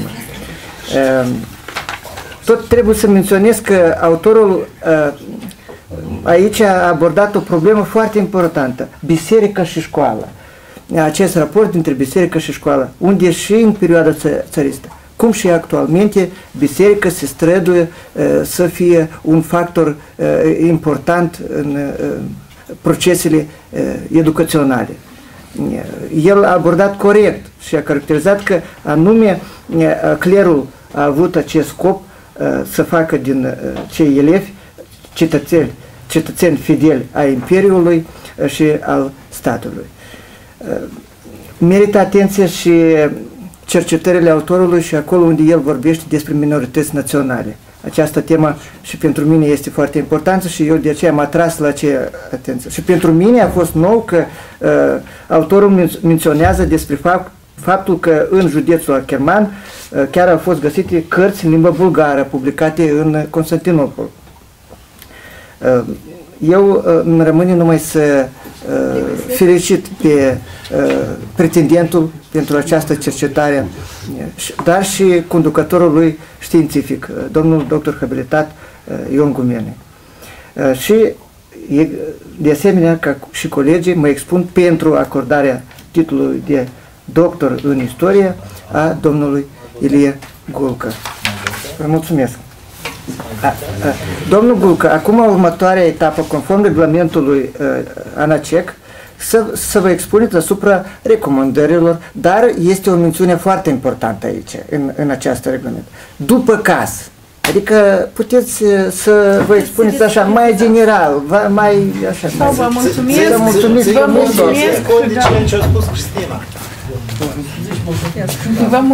Eu le mulțumesc uh, domnul profesor pentru recomandările făcute, ele sunt utile și uh, diminuează, reduce numărul meu de erori în, în, în lucrare. Le voi respecta și sunt convins că vor conferi mai multă, mai, mai multă valoare lucrării mele. Vă mulțumesc pentru atenție. Vă mulțumesc.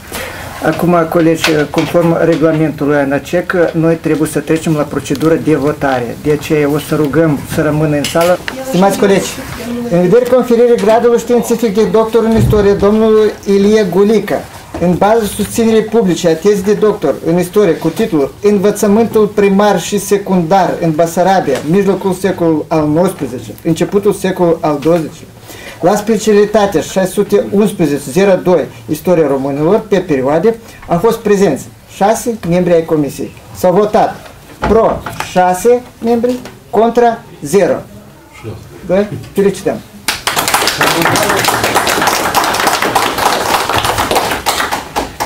Acum ofer cuvântul secretarului științific ca să ne citească proiectul prezentării, proiectul hotărârii. Da. Stimate domnule președinte, stimați membri ai Consiliului Științific, stimați referenți, prezint uh, proiectul hotărârii Consiliului Științific specializat D 611 46 din 24 noiembrie 2023 cu privire la valoarea aplicativă și noutatea științifică a tezii de doctor cu tema Învățământul primar și secundar în Basarabia, mijlocul secolului al XIX, începutul secolului al XX-lea, susținută de domnul Ilie Gulica, la specialitatea 611-02 Istoria Românilor pe perioadă, conducător științific, doctor în istorie, conferențiar universitar Gheorghe Palade, consultant științific, doctor habilitat în istorie, conferențiar universitar Ion Gumenei, în baza tezei de doctor prezentată de către Ilie Gulica, a avizelor pozitive ale referenților oficiali, Constantin Ungureanu, doctor habilitat în istorie, conferențiar cercetător, cercetător științific gradul 1, Muzeul Național al Bucovinii din Suceava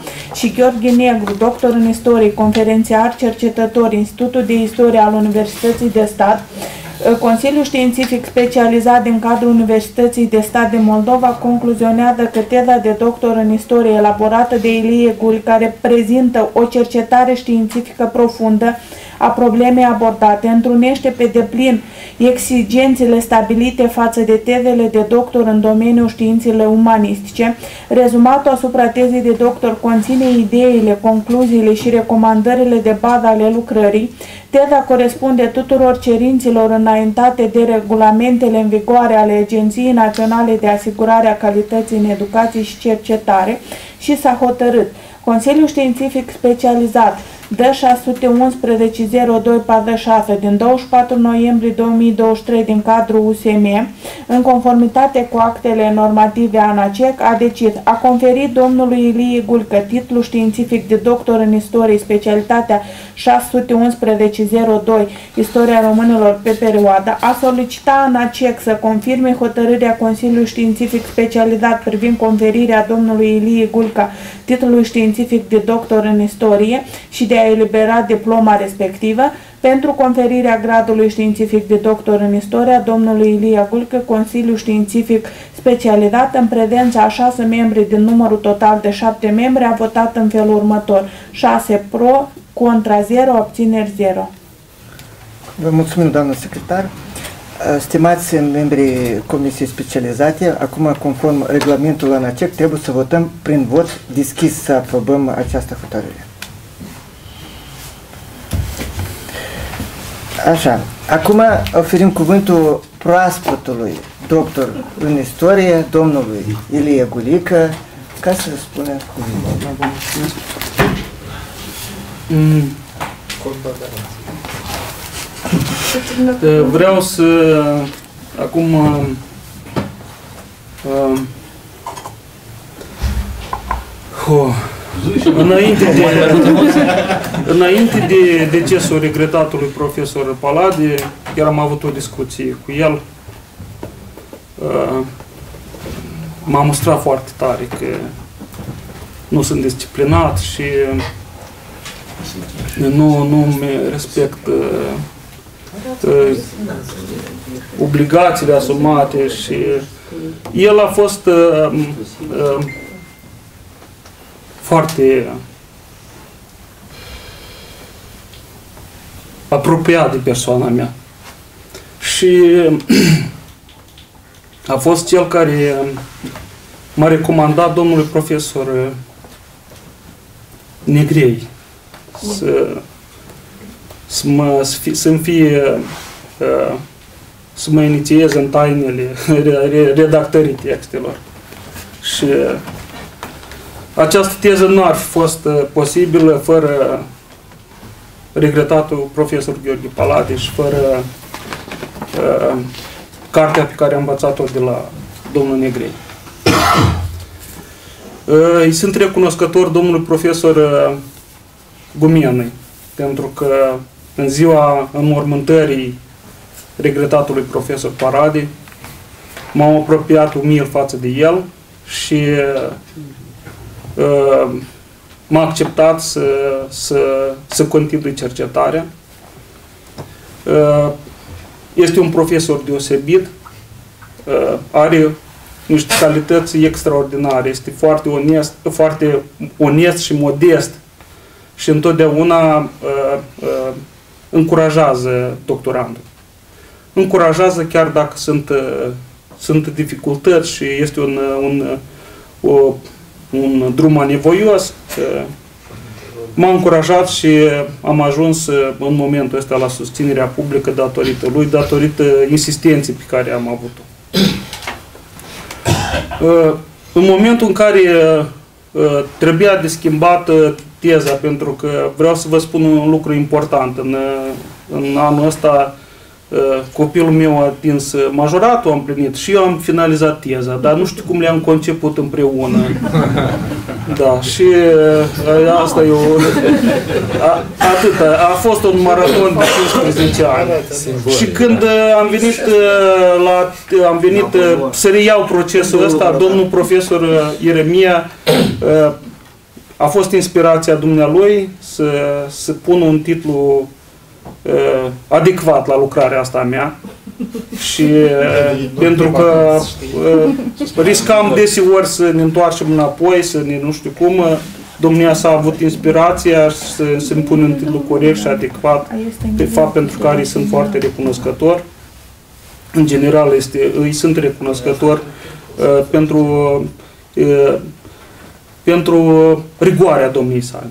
Și cred că Anume prin acest fapt, rigoarea pe care au profesorii de la Facultatea de Istorie a, și Filozofie a Universității de Stat din Moldova, rigoarea aceasta îi, îi, îi, o face să scoată studenți de calitate care se manifestă nu numai în domeniul cercetării istorice, nu numai în domeniul predării istoriei, dar și în alte domenii, acolo unde este vorba de lucrul cu sursele și atitudinea critică, um, cultura cercetării și, în general, cultura scrierii și a educației. Și eu mă bucur foarte mult că sunt absolventul acestei facultăți și le sunt Mă bucur foarte mult că i-am prins pe profesorul Niculiță, pe profesorul Potlog, pentru că au fost niște oameni și niște profesori extraordinari. Și mă mândresc cu faptul că uh, chiar și obiecțiile astăzi. Doamne, Rotarul mi-a, mi-a, mi-a făcut niște observații foarte precise uh, și mă ajută foarte mult să, să, să, să-mi îmbunătățesc lucrarea. Atenție la detalii uh, și atențiile este la micile detalii contează foarte mult.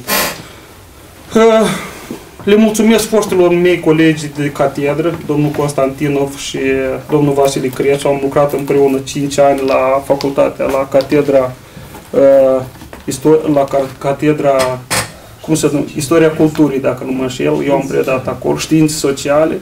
A fost o echipă deosebită, m-au sprijinit în, în demersul meu uh, didactic, dar n-am întins-o foarte mult, numai 5 ani. Și, în general, le mulțumesc domnilor Ungureanu și Negru pentru ceea ce au făcut, pentru studiile lor. Domnului Negru îi mulțumesc pentru rigoarea domniei sale, pentru toleranța sa și pentru, pentru cercetările pe care le-a făcut și pentru calitățile sale umane. Și mulțumesc domnului Ungureanu pentru observațiile sale și mă bucur și să sunt onorat că dumneavoastră ați venit în această seară aici la susținerea mea și mă bucur foarte mult. Vă mulțumesc și ore sănătate. Numai bine. Da, Cristina, Cristina iarăși, cu teza mea s-au născut doi copii. Mulțumesc, Cristine, pentru ajutorul foarte mare acordat. Foarte mare, chiar, da, chiar dacă... Și evident nu, nu, nu trebuie să domnul Candu este un modest, dar de fapt chiar într-adevăr el a fost cel care m-a dirijat în fondurile de arhivă, că imaginați-vă îmi amintesc acum când mi-a fost stabilit teza de, de, de, de cercetare, nu știam o boabă despre învățământul în Basarabia. Domnul Niculiț a bătut punul mas și a zis, asta e, asta e, tu te ocup de asta. Și m-am dus la arhivă. După ce am citit un an, nu-mi dădeam nimic seama. Pentru mine era arhiva ceva de neexplorat. Domnul Candu, fiind angajat acolo, m-a dirijat, m-a inițiat, m-a dirijat spre fondurile care sunt precise și care conțin val, uh, informații valoroase. Din cauza asta nu m-am băgat în pomeni.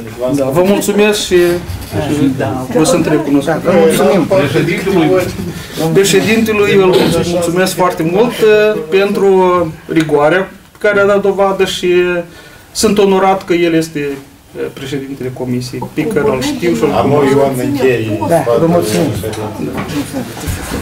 Stimați colegi, în, în încheierea vreau să vă expun satisfacerea mea că uh, ședința de azi s-a desfășurat în mod academic și eu felicit uh, că în comisia științifică specializată a fost atrași unii din cei mai valoroși specialiști în domeniu. Uh, azi a fost, uh, uh, noi am văzut o pregătire profesională a doctorantului și acum e doctor, acest, despre vorbești, despre nivelul a facultății de istorie și filosofie a Universității de Stat a Moldovei, dar și a școlii doctorale. Vă mulțumesc și declar ședința închisă.